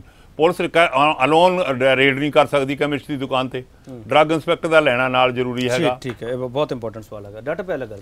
ਸਵਾਲ ਇਹ ਹੈਗਾ ਕਿ ਅੰਤਰਰਾਜੀ ਮੀਟਿੰਗਾਂ ਹੋ ਰਹੀਆਂ ਜਿਹੜੀਆਂ ਅੰਦਰੂਨੀ ਨਾਕਾਮੀਆਂ ਹੈਗੀਆਂ ਜਿਵੇਂ ਮਾਨ ਸਿੰਘ ਹਰਾਂ ਨੇ ਗੱਲ ਕੀਤੀ ਹੈ ਕਿ ਕਿ ਹੈਲਥ ਮਹਿਕਮਾ ਤੇ ਪੁਲਿਸ ਮਹਿਕਮਾ ਇਕੱਠੇ ਹੋ ਕੇ ਚੀਜ਼ਾਂ ਕਰ ਸਕਦੇ ਹੈਗੇ ਆ। ਆਪਸ ਵਿੱਚ ਤਾਲਮੇਲ ਨਹੀਂ ਹੈਗਾ ਜਾਂ ਤਾਲਮੇਲ ਰੱਖਣਾ ਨਹੀਂ ਚਾਹ ਰਹੇ? ਦੇਖੋ ਜਦ ਇੱਛਾ ਸ਼ਕਤੀ ਦੀ ਸਭ ਤੋਂ ਵੱਡੀ ਗੱਲ ਹੁੰਦੀ ਹੈ ਇਹਦੇ 'ਚ। ਜਦ ਪੋਲੀਟੀਕਲ ਇੱਛਾ ਸ਼ਕਤੀ ਨਹੀਂ ਫਿਰ ਹੋਰ ਬਹਾਨੇ ਵੀ ਨਹੀਂ ਜੀ ਉੱਥੋਂ ਆਉਂਦਾ ਉੱਥੋਂ। ਸਾਰੇ ਫੈਕਟਰ ਹੁੰਦੇ ਨੇ। ਐ ਨਹੀਂ ਹੈ ਵੀ ਬਿਨਾ ਫੈਕਟਰ ਦੇ ਕੋਈ ਬੰਦਾ ਕਹਾਣੀ ਬਣਾ ਦਿੰਦਾ ਇੰਟਰਨੈਸ਼ਨਲ ਫੈਕਟਰ ਵੀ ਹੈਗੇ ਨੇ ਇੰਟਰ ਸਟੇਟ ਫੈਕਟਰ ਵੀ ਹੈਗੇ ਨੇ। ਇੰਟਰਾ ਸਟੇਟ ਫੈਕਟਰ ਨੂੰ ਇਹ ਕਰਨੀ ਇਹ ਇੰਟਰ ਸਟੇਟ ਤੇ ਤਾਂ ਕਹਿੰਦੇ ਉਹ ਰਾਜਸਥਾਨ ਹੈ ਜੀ ਉਹਦੀ ਬਾਰਡਰ 'ਚੋਂ ਆ ਜਾਊਗਾ ਜੀ ਉਧਰੋਂ ਆ ਜਾਊਗਾ ਜੀ ਹੈ ਗੁਜਰਾਤ ਦੀ ਬਾਰਡਰ ਹੈ ਜੀ ਆ ਫਲਾਣਾ ਤੇ ਇਹ ਗੁਰਦਾਂ ਕਰਕੇ ਇਹ ਆਪਣੇ ਸਿਰੋਂ ਅਸਲ 'ਚ ਗੱਲ ਲਾਉਣਾ ਚਾਹੁੰਦੇ ਨੇ ਕਿ ਉਹਦੇ 'ਚ ਮੈਂ ਤਾਂ ਕਹਾਂਗਾ ਮੀਟਿੰਗ ਈਟਿੰਗ ਚੀਟਿੰਗ ਵਾਲੀ ਗੱਲ ਕਹਿੰਦੇ ਹੁੰਦੇ ਉਸ ਦੇ ਵਿੱਚ ਕਿ ਵੀ ਮੀਟਿੰਗ ਕਰੋ ਕਿਸੇ ਦੇ ਖਾਤੇ ਪਾ ਦਿਓ ਕੋਈ ਕੋਈ- ਵਿਅਕਤੀ ਪੰਜਾਬ ਦੇ ਵਿੱਚ ਜਿਹੜਾ ਨਸ਼ਾ ਚੱਲ ਰਿਹਾ ਹੈ ਜਿਸ ਪੱਧਰ ਤੇ ਚੱਲ ਰਿਹਾ ਤੁਸੀਂ ਗੱਲ ਕਰੀਏ ਸੰਗਰੂਰ ਦੀ। 59761 ਬੰਦੇ ਪੰਜਾਬ ਪਿਛਲੇ 2 ਸਾਲਾਂ 'ਚ ਸਾਹਮਣੇ ਆ ਚੁੱਕੇ ਜਿਨ੍ਹਾਂ ਨੂੰ ਹੈਪੇਟਾਈਟਿਸ ਸੀ ਹੈ। ਇਹਦੇ 'ਚ ਵੀ ਹੈਪੇਟਾਈਟਿਸ ਸੀ ਵਾਲੇ ਤੇ ਏਡਜ਼ ਵਾਲੇ ਬੰਦੇ ਜਿਹੜੇ ਸੰਗਰੂਰ ਵਾਲੇ ਸਰਿੰਜਾਂ ਦੀ ਗੱਲ ਕਰੀਏ। ਹੂੰ। ਪੋਲਿਊਸ਼ਨ ਕੰਟਰੋਲ ਬੋਰਡ ਬਣਿਆ ਹੋਇਆ ਹੈ ਉਹਦੀ ਡਿਊਟੀ ਹੈ ਕਿ ਜਿਹੜੀਆਂ ਸਰਿੰਜਾਂ ਨੇ ਬਾਇਓ ਵੇਸਟ ਆ ਘੱਟੋ ਘੱਟ ਉਹਦੇ ਉੱਤੇ ਧਿਆਨ ਰੱਖੇ। ਪੰਜਾਬ ਦੀ ਸੋਲਿਡ ਵੇਸਟ ਦਾ ਤਾਂ ਕੁਝ ਹੋ ਹੀ ਨਹੀਂ ਰਿਹਾ ਆਪ ਹੀ ਇਹਨਾਂ ਦੀਆਂ ਰਿਪੋਰਟਾਂ ਨੇ ਸਰਕਾਰ ਦੀਆਂ ਚਾਹੇ ਇਹ ਸਰਕਾਰ ਹੋਵੇ ਚਾਹੇ ਬੀ ਹੋਵੇ। ਪਰ ਜਿਹੜਾ ਬਾਇਓ ਵੇਸਟ ਹੈ, ਉਹਨੂੰ ਇਹ ਕਹਿੰਦੇ ਨਹੀਂ ਵੀ ਅਸੀਂ 100% ਵੇਸਟ ਕਰਦੇ ਹਾਂ, ਤੁਸੀਂ ਕੱਲਾ ਸੰਗਰੂਰ ਛੱਡੋ। ਜਿਹੜੇ ਮਰਜ਼ੀ ਛੋਟੇ ਸ਼ਹਿਰ 'ਚ ਜਾ ਰਹੋ, ਉੱਥੇ ਛੋਟੇ ਛੋਟੇ ਕਲੀਨਿਕ ਅਨਕੁਆਲੀਫਾਈਡ ਦੇ ਕਲੀਨਿਕ ਕੁਆਲੀਫਾਈਡ ਦੇ ਕਲੀਨਿਕ ਲੀਗਲ ਇਲੀਗਲ ਜੋ ਵੀ ਹੈ, ਉਹਨਾਂ ਦਾ ਬਾਇਓ ਵੇਸਟ ਉਸ ਤਰੀਕੇ ਨਾਲ ਨਹੀਂ ਸਾਂਭਿਆ ਜਾ ਰਿਹਾ ਤੇ ਉਹ ਐਂ ਸੁੱਟਿਆ ਜਾ ਰਿਹਾ, ਉਹਨੂੰ ਰੀਸਾਈਕਲ ਕਰ ਜਾਂਦਾ, ਉਹਨੂੰ ਇਦਾਂ ਹੀ ਚੱਕ ਕੇ ਯੂਜ਼ ਕਰ ਲੈਂਦੇ ਨੇ, ਇਹ ਇੱਕ ਹੈਗਾ ਤਰੀਕਾ। ਹੁਣ ਦੁਨੀਆ ਦੇ ਵਿੱਚ ਇਹਨੂੰ ਨਾ ਤਾਂ ਇਹ ਪੋਲੀਟੀਕਲ ਬਿੱਲ ਦੇ ਹਿਸਾਬ ਨਾਲ ਜਿਵੇਂ ਇਹਨਾਂ ਨੇ ਮਾਨ ਸਿੰਘ ਜੀ ਨੇ ਕਿਹਾ ਵੀ ਜਿਹੜਾ ਬੰਦਾ ਫੜ ਰਿਹਾ ਉਹਦੀ ਤਾਂ ਤੁਸੀਂ ਰਿਪੋਰਟ ਹੀ ਕਿਤੇ ਉਲਝਾਈ ਦਿੱਤੀ ਤੇ ਉਹਨੂੰ ਬਦਲਦਾ ਚੱਕ ਕੇ ਉਹਦਾ ਰੌਲਾ ਬਥੇਰਾ ਪਿਆ ਕਾਰਨ 100 ਹੋ ਸਕਦੇ ਨੇ। ਇਸੇ ਤਰ੍ਹਾਂ ਹੀ ਨਾ ਹੀ ਤੁਹਾਡੀ ਸਿਆਸੀ ਵਿਲ ਇਸ ਗੱਲ ਦੇ ਉੱਤੇ ਹੈ ਵੀ ਚੰਗਾ ਇਸ ਨੂੰ ਆਪਾਂ ਖਤਮ ਕਰਨਾ ਤੁਸੀਂ ਸੌਹਾਂ ਖਾਈ ਜਾਓ ਤੁਸੀਂ ਕਹੀ ਜਾਓ ਵੀ ਅਸੀਂ ਖਤਮ ਕਰਤਾ। ਇਹਦੇ ਨਾਲ ਤਾਂ ਗੱਲ ਨਹੀਂ ਨਾ ਬਣਨੀ। ਸਾਹਮਣੇ ਜਿਹੜੇ ਫੈਕਟਰ ਸਾਹਮਣੇ ਦਿਖਦੇ ਨੇ ਵੀ ਆਹ ਤੁਸੀਂ ਅੱਠ ਪਿਕਚਰਾਂ ਦਿਖਾ ਦੀਆਂ। ਇਹ ਅੱਠੇ ਸਾਹਮਣੇ ਬੋਲਦੀਆਂ ਨੇ ਮੂੰਹੋਂ ਬੋਲਦੀਆਂ ਨੇ। ਅਰ ਪਿੱਛੇ ਕਿੰਨੇ ਬੰਦੇ ਆ ਕਪੂਰਥਲੇ ਦੇ ਵਿੱਚ ਨਸ਼ਾ ਛਡਾਓ ਕੇਂਦਰ ਆ ਕੁੜੀਆਂ ਵਾਸਤੇ। ਡਾਕਟਰ ਭੋਲਾ ਉੱਥੇ ਇੰਚਾਰਜ ਹੈ ਤੇ 19 ਕੁੜੀਆਂ ਉੱਥੇ ਨਸ਼ਾ ਛੱਡਣ ਵਾਸਤੇ ਆਈਆਂ ਹੋਈਆਂ ਸੀ। ਇਹ ਨਹੀਂ ਹੈ ਕਿ ਕੁੜੀਆਂ ਨਸ਼ਾ ਠੀਕ ਹੈ ਗਿਣਤੀ ਘੱਟ ਹੈ ਪਰ ਪੂਰੀਆਂ ਰਿਪੋਰਟਾਂ ਆ ਚੁੱਕੀਆਂ ਨੇ ਕਿਉਂਕਿ ਵੋਮਨ ਦੇ ਵਿੱਚ ਵੀ ਨਸ਼ਾ ਲੱਗੀ ਜਾਂਦਾ ਪੂਰੇ ਦਾ ਪੂਰਾ ਪਰਿਵਾਰ ਵੀ ਮੇਰੀ ਕੁੜੀ ਨੇ ਮੈਨੂੰ ਲਗਾਤਾ ਜੀ ਅੱਗੋਂ ਮੇਰੀ ਮੁੰਡਾ ਵੀ ਲੱਗਾ ਜੀ ਅੱਗੋਂ ਮੇਰੇ ਆਏ ਮੋਗੇ ਹੋ ਵਾਲੀ ਗਿਆ ਕੁੜੀ ਵੀ ਕਹਿੰਦੀ ਮੇਰੇ ਦੋਸਤ ਨੇ ਮੈਨੂੰ ਲਵਾਇਆ ਹਾਂ। ਸੋ ਇਹ ਜਿਹੜਾ ਸਾਡਾ ਜਿਹੜੀ ਸਾਡਾ ਸਿਸਟਮ ਦੇ ਵਿੱਚ ਇਹ ਜ਼ਰੂਰ ਹੋ ਗਿਆ ਕਿ ਇਹਨਾਂ ਨੇ ਇਹ ਵੀ ਠੀਕ ਕਿਹਾ ਵੀ ਜਿਹੜੇ ਡਰੱਗ ਇੰਸਪੈਕਟਰ ਤੇ ਕਹਿੰਦੇ ਡਰੱਗ ਇੰਸਪੈਕਟਰ ਘੱਟ ਨੇ ਹੁਣ ਇਹਨਾਂ ਨੇ ਨਾ 40 ਭਰਤੀ ਕਰ ਰਹੇ ਕਿ 45 ਹੋਰ 60 ਅਸਲ 'ਚ ਡਰੱਗ ਇੰਸਪੈਕਟਰ ਪਿੱਛੇ ਮੀਟਿੰਗ ਹੋਈ ਸੀ ਉੱਥੇ ਬੜੇ ਤਿਲਮਲਾਏ ਵੀ ਉਹ। ਮੈਂ ਕਿਹਾ ਜੀ ਤੁਹਾਡਾ ਕੰਮ ਤਾਂ ਹੈਗਾ ਵੀ ਮਹੀਨਾ ਇਕੱਠਾ ਕਰਨਾ। ਤੁਸੀਂ ਇਹ ਤਾਂ ਨਹੀਂ ਨਾ ਕਰਦੇ ਵੀ ਨਸ਼ਾ ਨਾ ਵਿਕੇ। ਜਿਹੜਾ ਸਿੰਥੈਟਿਕ ਨਸ਼ਾ ਹੈ ਕੈਮਿਸਟ ਸ਼ਾਪ ਤੇ ਵਿਕਦਾ ਹੈ। ਉਹ ਕੈਮਿਸਟ ਕਹਿੰਦੇ ਜੀ ਅਸੀਂ ਨਹੀਂ ਵੇਚਦੇ ਉਹ ਦੂਜੇ ਵੇਚਦੇ ਨੇ। ਆ ਹੁਣੇ ਅਸੀਂ ਬਾਹਰ ਬੈਠੇ ਗੱਲ ਕਰਦੇ ਸੀ ਵੀ ਉਹ ਬਾਹਰ ਕਿੱਥੋਂ ਆਉਂਦਾ ਫਿਰ? ਇਹ ਮੈਨੂੰ ਪੁੱਛਦੇ ਸੀ ਕਹਿੰਦੇ ਤੁਹਾਨੂੰ ਪਤਾ ਹੋਊਗਾ ਬਾਹਰ ਕਿੱਥੋਂ ਆਉਂਦਾ ਕਿੱਥੋਂ ਆਏ? ਸਾਰਾ ਚਿੱਟਾ ਜਿਹੜਾ ਵਿਕ ਰਿਹਾ ਹੈ ਅਫਿਡਰੀਨ। ਅੰਫੀਟਾਮੀਨ ਜਿਹੜੀ ਐਂ ਠਾ ਬੰਦੇ ਨੂੰ ਉਹ ਕਰ ਦਿੰਦੀ ਹੈ ਉਹ ਸਾਰਾ ਵਿਕ ਰਿਹਾ ਹੈ। ਉਹਨੂੰ ਵੀ ਚਿੱਟਾ ਕਹਿੰਦੇ ਨੇ। ਹੈਰੋਨ ਵਾਲੇ ਨੂੰ ਵੀ ਚਿੱਟਾ ਕਹਿੰਦੇ ਆ ਵਿਟਾਮਿਨ ਤੇ ਅਫਿਡਰੀਨ ਦਾ ਅੱਛਾ ਬਨੂੜ ਦੇ ਵਿੱਚ ਫੜਿਆ ਗਿਆ ਸਾਰਾ ਪਾਊਡਰ ਇਹਨਾਂ ਨੇ ਕੀ ਕਰਿਆ? ਇਹ ਪਿੱਛੇ ਪਿੱਛੇ ਰੌਲਾ ਪਾਈ ਗਏ। ਕਦੇ ਜਿੱਦੇ ਤਾਂ ਰੌਲਾ ਪੈਣ ਲੱਗ ਜਾਂਦਾ ਹੈ ਹੈਰੋਇਨ ਦਾ ਉਹਦੇ ਹੈਰੋਇਨ ਦਾ ਰੌਲਾ ਪੈ ਜਾਂਦਾ ਹੈ। ਜਿੱਦੇ ਉਹ ਅੰਫੀਟਾਮਿਨ ਸਿੰਥੈਟਿਕ ਡਰੱਗਸ ਦੇ ਉੱਤੇ ਰੌਲਾ ਹੀ ਨਹੀਂ ਪਾਉਂਦੇ। ਸੋ। ਇਹ ਅੱਜ ਲੋੜ ਹੈ। ਕਿ ਹੈਲਥ ਮਹਿਕਮਾ ਸੋਸ਼ਲ ਸਿਕਿਉਰਿਟੀ ਮਹਿਕਮਾ ਐਜੂਕੇਸ਼ਨ ਮਹਿਕਮਾ ਯੂਥ ਵਾਲੇ youth sports wing youth wing police ਇਹ ਸਾਰਿਆਂ ਨੇ ਰਲ ਕੇ ਪਰ ਇਹ ਤਾਂ ਕੰਮ ਕਰ ਸਕਣਗੇ ਇਹ ਕਹਿਣਾ ਇਹ ਮਹਿਕਮਾ ਮੁੱਕ ਅੰਦਰ ਰਲਣ ਦਾ ਕੋਈ ਵੀ ਨਹੀਂ ਉੱਤੇ ਪੋਲੀਟੀਕਲ ਫੈਸਲਾ ਹੋਵੇ। ਅੱਜ ਮੈਨੂੰ ਐਂ ਲੱਗਦਾ ਹੈ ਕਿ ਪੰਜਾਬ ਦੇ ਵਿੱਚ ਪੰਜਾਬ ਨੂੰ ਬਚਾਉਣ ਵਾਸਤੇ ਪੋਲੀਟੀਕਲ ਫੈਸਲਾ ਨਹੀਂ ਹੈ ਪੋਲੀਟੀਕਲ ਫੈਸਲਾ ਨੇ। ਇੱਕ ਛੋਟਾ ਬ੍ਰੇਕ ਲਵਾਂਗੇ ਬ੍ਰੇਕ ਤੋਂ ਵਾਪਸ ਆਵਾਂਗੇ। ਚਿੱਟਾ ਕਿਉਂ ਹੋ ਰਿਹਾ ਪੰਜਾਬ? ਇਹ ਬਹੁਤ ਸੰਜੀਦਾ ਚਰਚਾ ਇਹ ਮੰਗਦਾ ਹੈਗਾ ਵਿਸ਼ਾ ਤੇ। ਸੰਜੀਦਾ ਇਹ ਤੇ ਅ, ਚੀਜ਼ਾਂ ਹੋਣੀਆਂ ਚਾਹੀਦੀਆਂ ਸੰਜੀਦਾ ਫੈਸਲੇ ਹੋਣੇ ਚਾਹੀਦੇ। ਜੋ ਪੋਲੀਟੀਕਲ ਫੈਸਲਾ ਹੋ ਜਾਵੇਗਾ ਤੇ ਨਸ਼ੇ ਨੂੰ ਜੜੋਂ ਮੁਕਾਇਆ ਜਾ ਸਕਦਾ ਹੈ ਤੇ ਜੇ ਨਸ਼ੇ ਨੂੰ ਜੜੋਂ ਮੁਕਾਉਣਾ ਹੈਗਾ ਤਾਂ ਪੋਲੀਟੀਕਲ ਫੈਸਲਾ ਕਰਨਾ ਪਵੇਗਾ ਤੇ ਮੁੜ ਵਸੇਬਾ ਜਿਹੜਾ ਉਹ ਕਰਨਾ ਪਊਗਾ। ਜਦੋਂ ਅਸੀਂ ਕ੍ਰਿਮੀਨਲ ਸਮਝਦੇ ਹਾਂ ਨਸ਼ਾ ਕਰਨ ਵਾਲੇ ਨੂੰ ਉਦੋਂ ਸਾਡੇ ਸਮਾਜ ਦੇ ਵਿੱਚ ਉਹ ਚੀਜ਼ਾਂ ਵਾਪਰਦੀਆਂ, ਵੱਧਦੀਆਂ ਹੈਗੀਆਂ ਤੇ ਕ੍ਰਿਮੀਨਲ ਨਾ ਸਮਝੋ ਉਹਨੂੰ, ਉਹਦੇ ਨਸ਼ਾ ਛਡਾਉਣ ਦੀ ਉਹਦੀ ਮਦਦ ਕਰੋ, ਸਾਨੂੰ ਅੱਗੇ ਆਉਣਾ ਪਊਗਾ। ਚਿੱਟਾ ਕਿਉਂ ਰਿਹਾ? ਪੰਜਾਬ ਬ੍ਰੇਕ ਤੋਂ ਬਾਅਦ ਵਾਪਸ ਆ ਰਿਹਾ ਸਵਾਲ ਅਸੀਂ ਵੱਡਾ ਇਹੀ ਪੁੱਛ ਰਹੇ ਹਾਂ, ਚਿੱਟੇ ਨਾਲ ਬਰਬਾਦ ਹੁੰਦੇ ਪੰਜਾਬ ਦਾ ਮੁੜ ਵਸੇਬਾ ਕਿਵੇਂ ਕਰੀਏ? ਜੈ ਕਿਸ਼ਨ ਰੋਡੀ ਜੀ, ਤੁਹਾਡੇ ਕਿਸੇ ਪੋਲੀਟੀਕਲ ਪਾਰਟੀ ਕੋਲੇ ਕੋਈ ਬਲੂਪ੍ਰਿੰਟ ਹੈਗਾ ਇਹੋ ਜਿਹਾ ਜਿਹੜਾ ਤੁਸੀਂ ਸਰਕਾਰ ਨੂੰ ਦੇ ਸਕੋ? ਕੋਈ ਇਲਜ਼ਾਮ ਤਰਾਸ਼ੀਆਂ ਬਹੁਤ ਹੋ ਗਈਆਂ ਅੱਜ ਇਲਜ਼ਾਮ ਨਾ ਲਾਈਓ ਕਿਰਪਾ ਕਰਕੇ। ਜੋ ਕੋਈ ਹੱਲ ਹੈਗਾ ਤਾਂ ਦੱਸੋ ਜ਼ਰੂਰ। ਕਿਉਂਕਿ ਤੁਸੀਂ ਆਪਦੇ ਹਲਕੇ ਦੇ ਵਿਧਾਇਕ ਵੀ ਹੋ ਨਾਲ। ਬਿਲਕੁਲ ਤੁਹਾਡੀ ਗੱਲ ਸਹੀ ਆ। ਜੇਕਰ ਤੁਸੀਂ ਸਿਰਫ ਮੇਰਾ 1.5 2 ਮਿੰਟ ਮੈਨੂੰ ਬੋਲਣ ਦਿਓ ਹੂੰ। ਤਾਂ ਅੱਜ ਮੈਂ ਜਿਹੜਾ ਬਲੂ ਪ੍ਰਿੰਟ ਹੈ ਤੁਹਾਡੇ ਚੈਨਲ ਤੇ ਦੱਸ ਦਿਆਂਗਾ। ਜਿਵੇਂ ਮਾਨ ਸਿੰਘ ਜੀ ਨੇ ਵੀ ਗੱਲ ਕੀਤੀ ਹੈ ਕਿ ਪੰਜਾਬ ਦੇ ਵਿੱਚ ਜਿਹੜੇ ਬੇਰੁਜ਼ਗਾਰੀ ਹੈ ਇਹ ਸਭ ਤੋਂ ਵੱਡਾ ਕਾਰਨ ਹੈ ਕਿ ਜਿਹੜੇ ਨੌਜਵਾਨ ਹੈ ਨਸ਼ੇ ਦੇ ਵਿੱਚ ਜਾ ਰਹੇ ਆ ਜੇਕਰ ਅੱਜ ਸਰਕਾਰਾਂ ਭਾਵੇਂ ਪਿਛਲੀਆਂ ਨੇ ਭਾਵੇਂ ਹੁਣ ਦੀਆਂ ਨੇ ਜੇਕਰ ਇਹ ਚਾਹਣ ਵੀ ਨਸ਼ਾ ਵਿਕੇ ਪਰ ਜੇ ਉਹ ਨਸ਼ਾ ਕਰਨ ਵਾਲੇ ਨਹੀਂ ਹੋਣਗੇ ਉਹ ਆਪਣੇ ਰੋਜ਼ਗਾਰ ਤੇ ਹੋਣਗੇ ਮੈਂ ਸਮਝਦਾ ਤੇ ਠੱਲ ਪਈ ਜਾ ਸਕਦੀ ਹੈ। ਔਰ ਅੱਜ ਜੇਕਰ ਤੁਸੀਂ ਦੇਖੋ ਪੰਜਾਬ ਦੇ ਵਿੱਚ ਸਰਕਾਰੀ ਸਕੂਲ ਦੇਖ ਲਓ ਟੀਚਰ ਹੈ ਨਹੀਂ ਸਰਕਾਰੀ ਹਸਪਤਾਲ ਦੇਖ ਲਓ ਡਾਕਟਰ ਹੈ ਨਹੀਂ ਪਟਵਾਰੀ ਹੈ ਨਹੀਂ ਤੁਸੀਂ ਜਿਹੜਾ ਮਰਜ਼ੀ ਡਿਪਾਰਟਮੈਂਟ ਦੇਖ ਲਓ ਉਹਦੇ ਵਿੱਚ ਜਿਹੜੇ ਮੁਲਾਜ਼ਮਾਂ ਦੀ ਘਾਟ ਬਹੁਤ ਵੱਡੀ ਹੈ। ਇਹ ਨਹੀਂ ਕਿ ਕਾਰਨ ਕਿ ਸਰਕਾਰ ਭਰਤੀ ਨਹੀਂ ਕਰਨਾ ਚਾਹੁੰਦੀ। ਸਰਕਾਰ ਭਰਤੀ ਵੀ ਕਰ ਸਕਦੀ ਹੈ। ਪਰ ਸਰਕਾਰ ਕਹਿੰਦੀ ਸਾਡੇ ਕੋਲ ਖਜ਼ਾਨੇ ਕੋਲ ਪੈਸੇ ਹੈ ਨਹੀਂ ਭਰਤੀ ਕਰਨ ਲਈ ਅਸੀਂ ਤਨਖਾਹ ਕਿੱਥੋਂ ਦੇਣੀ ਹੈ?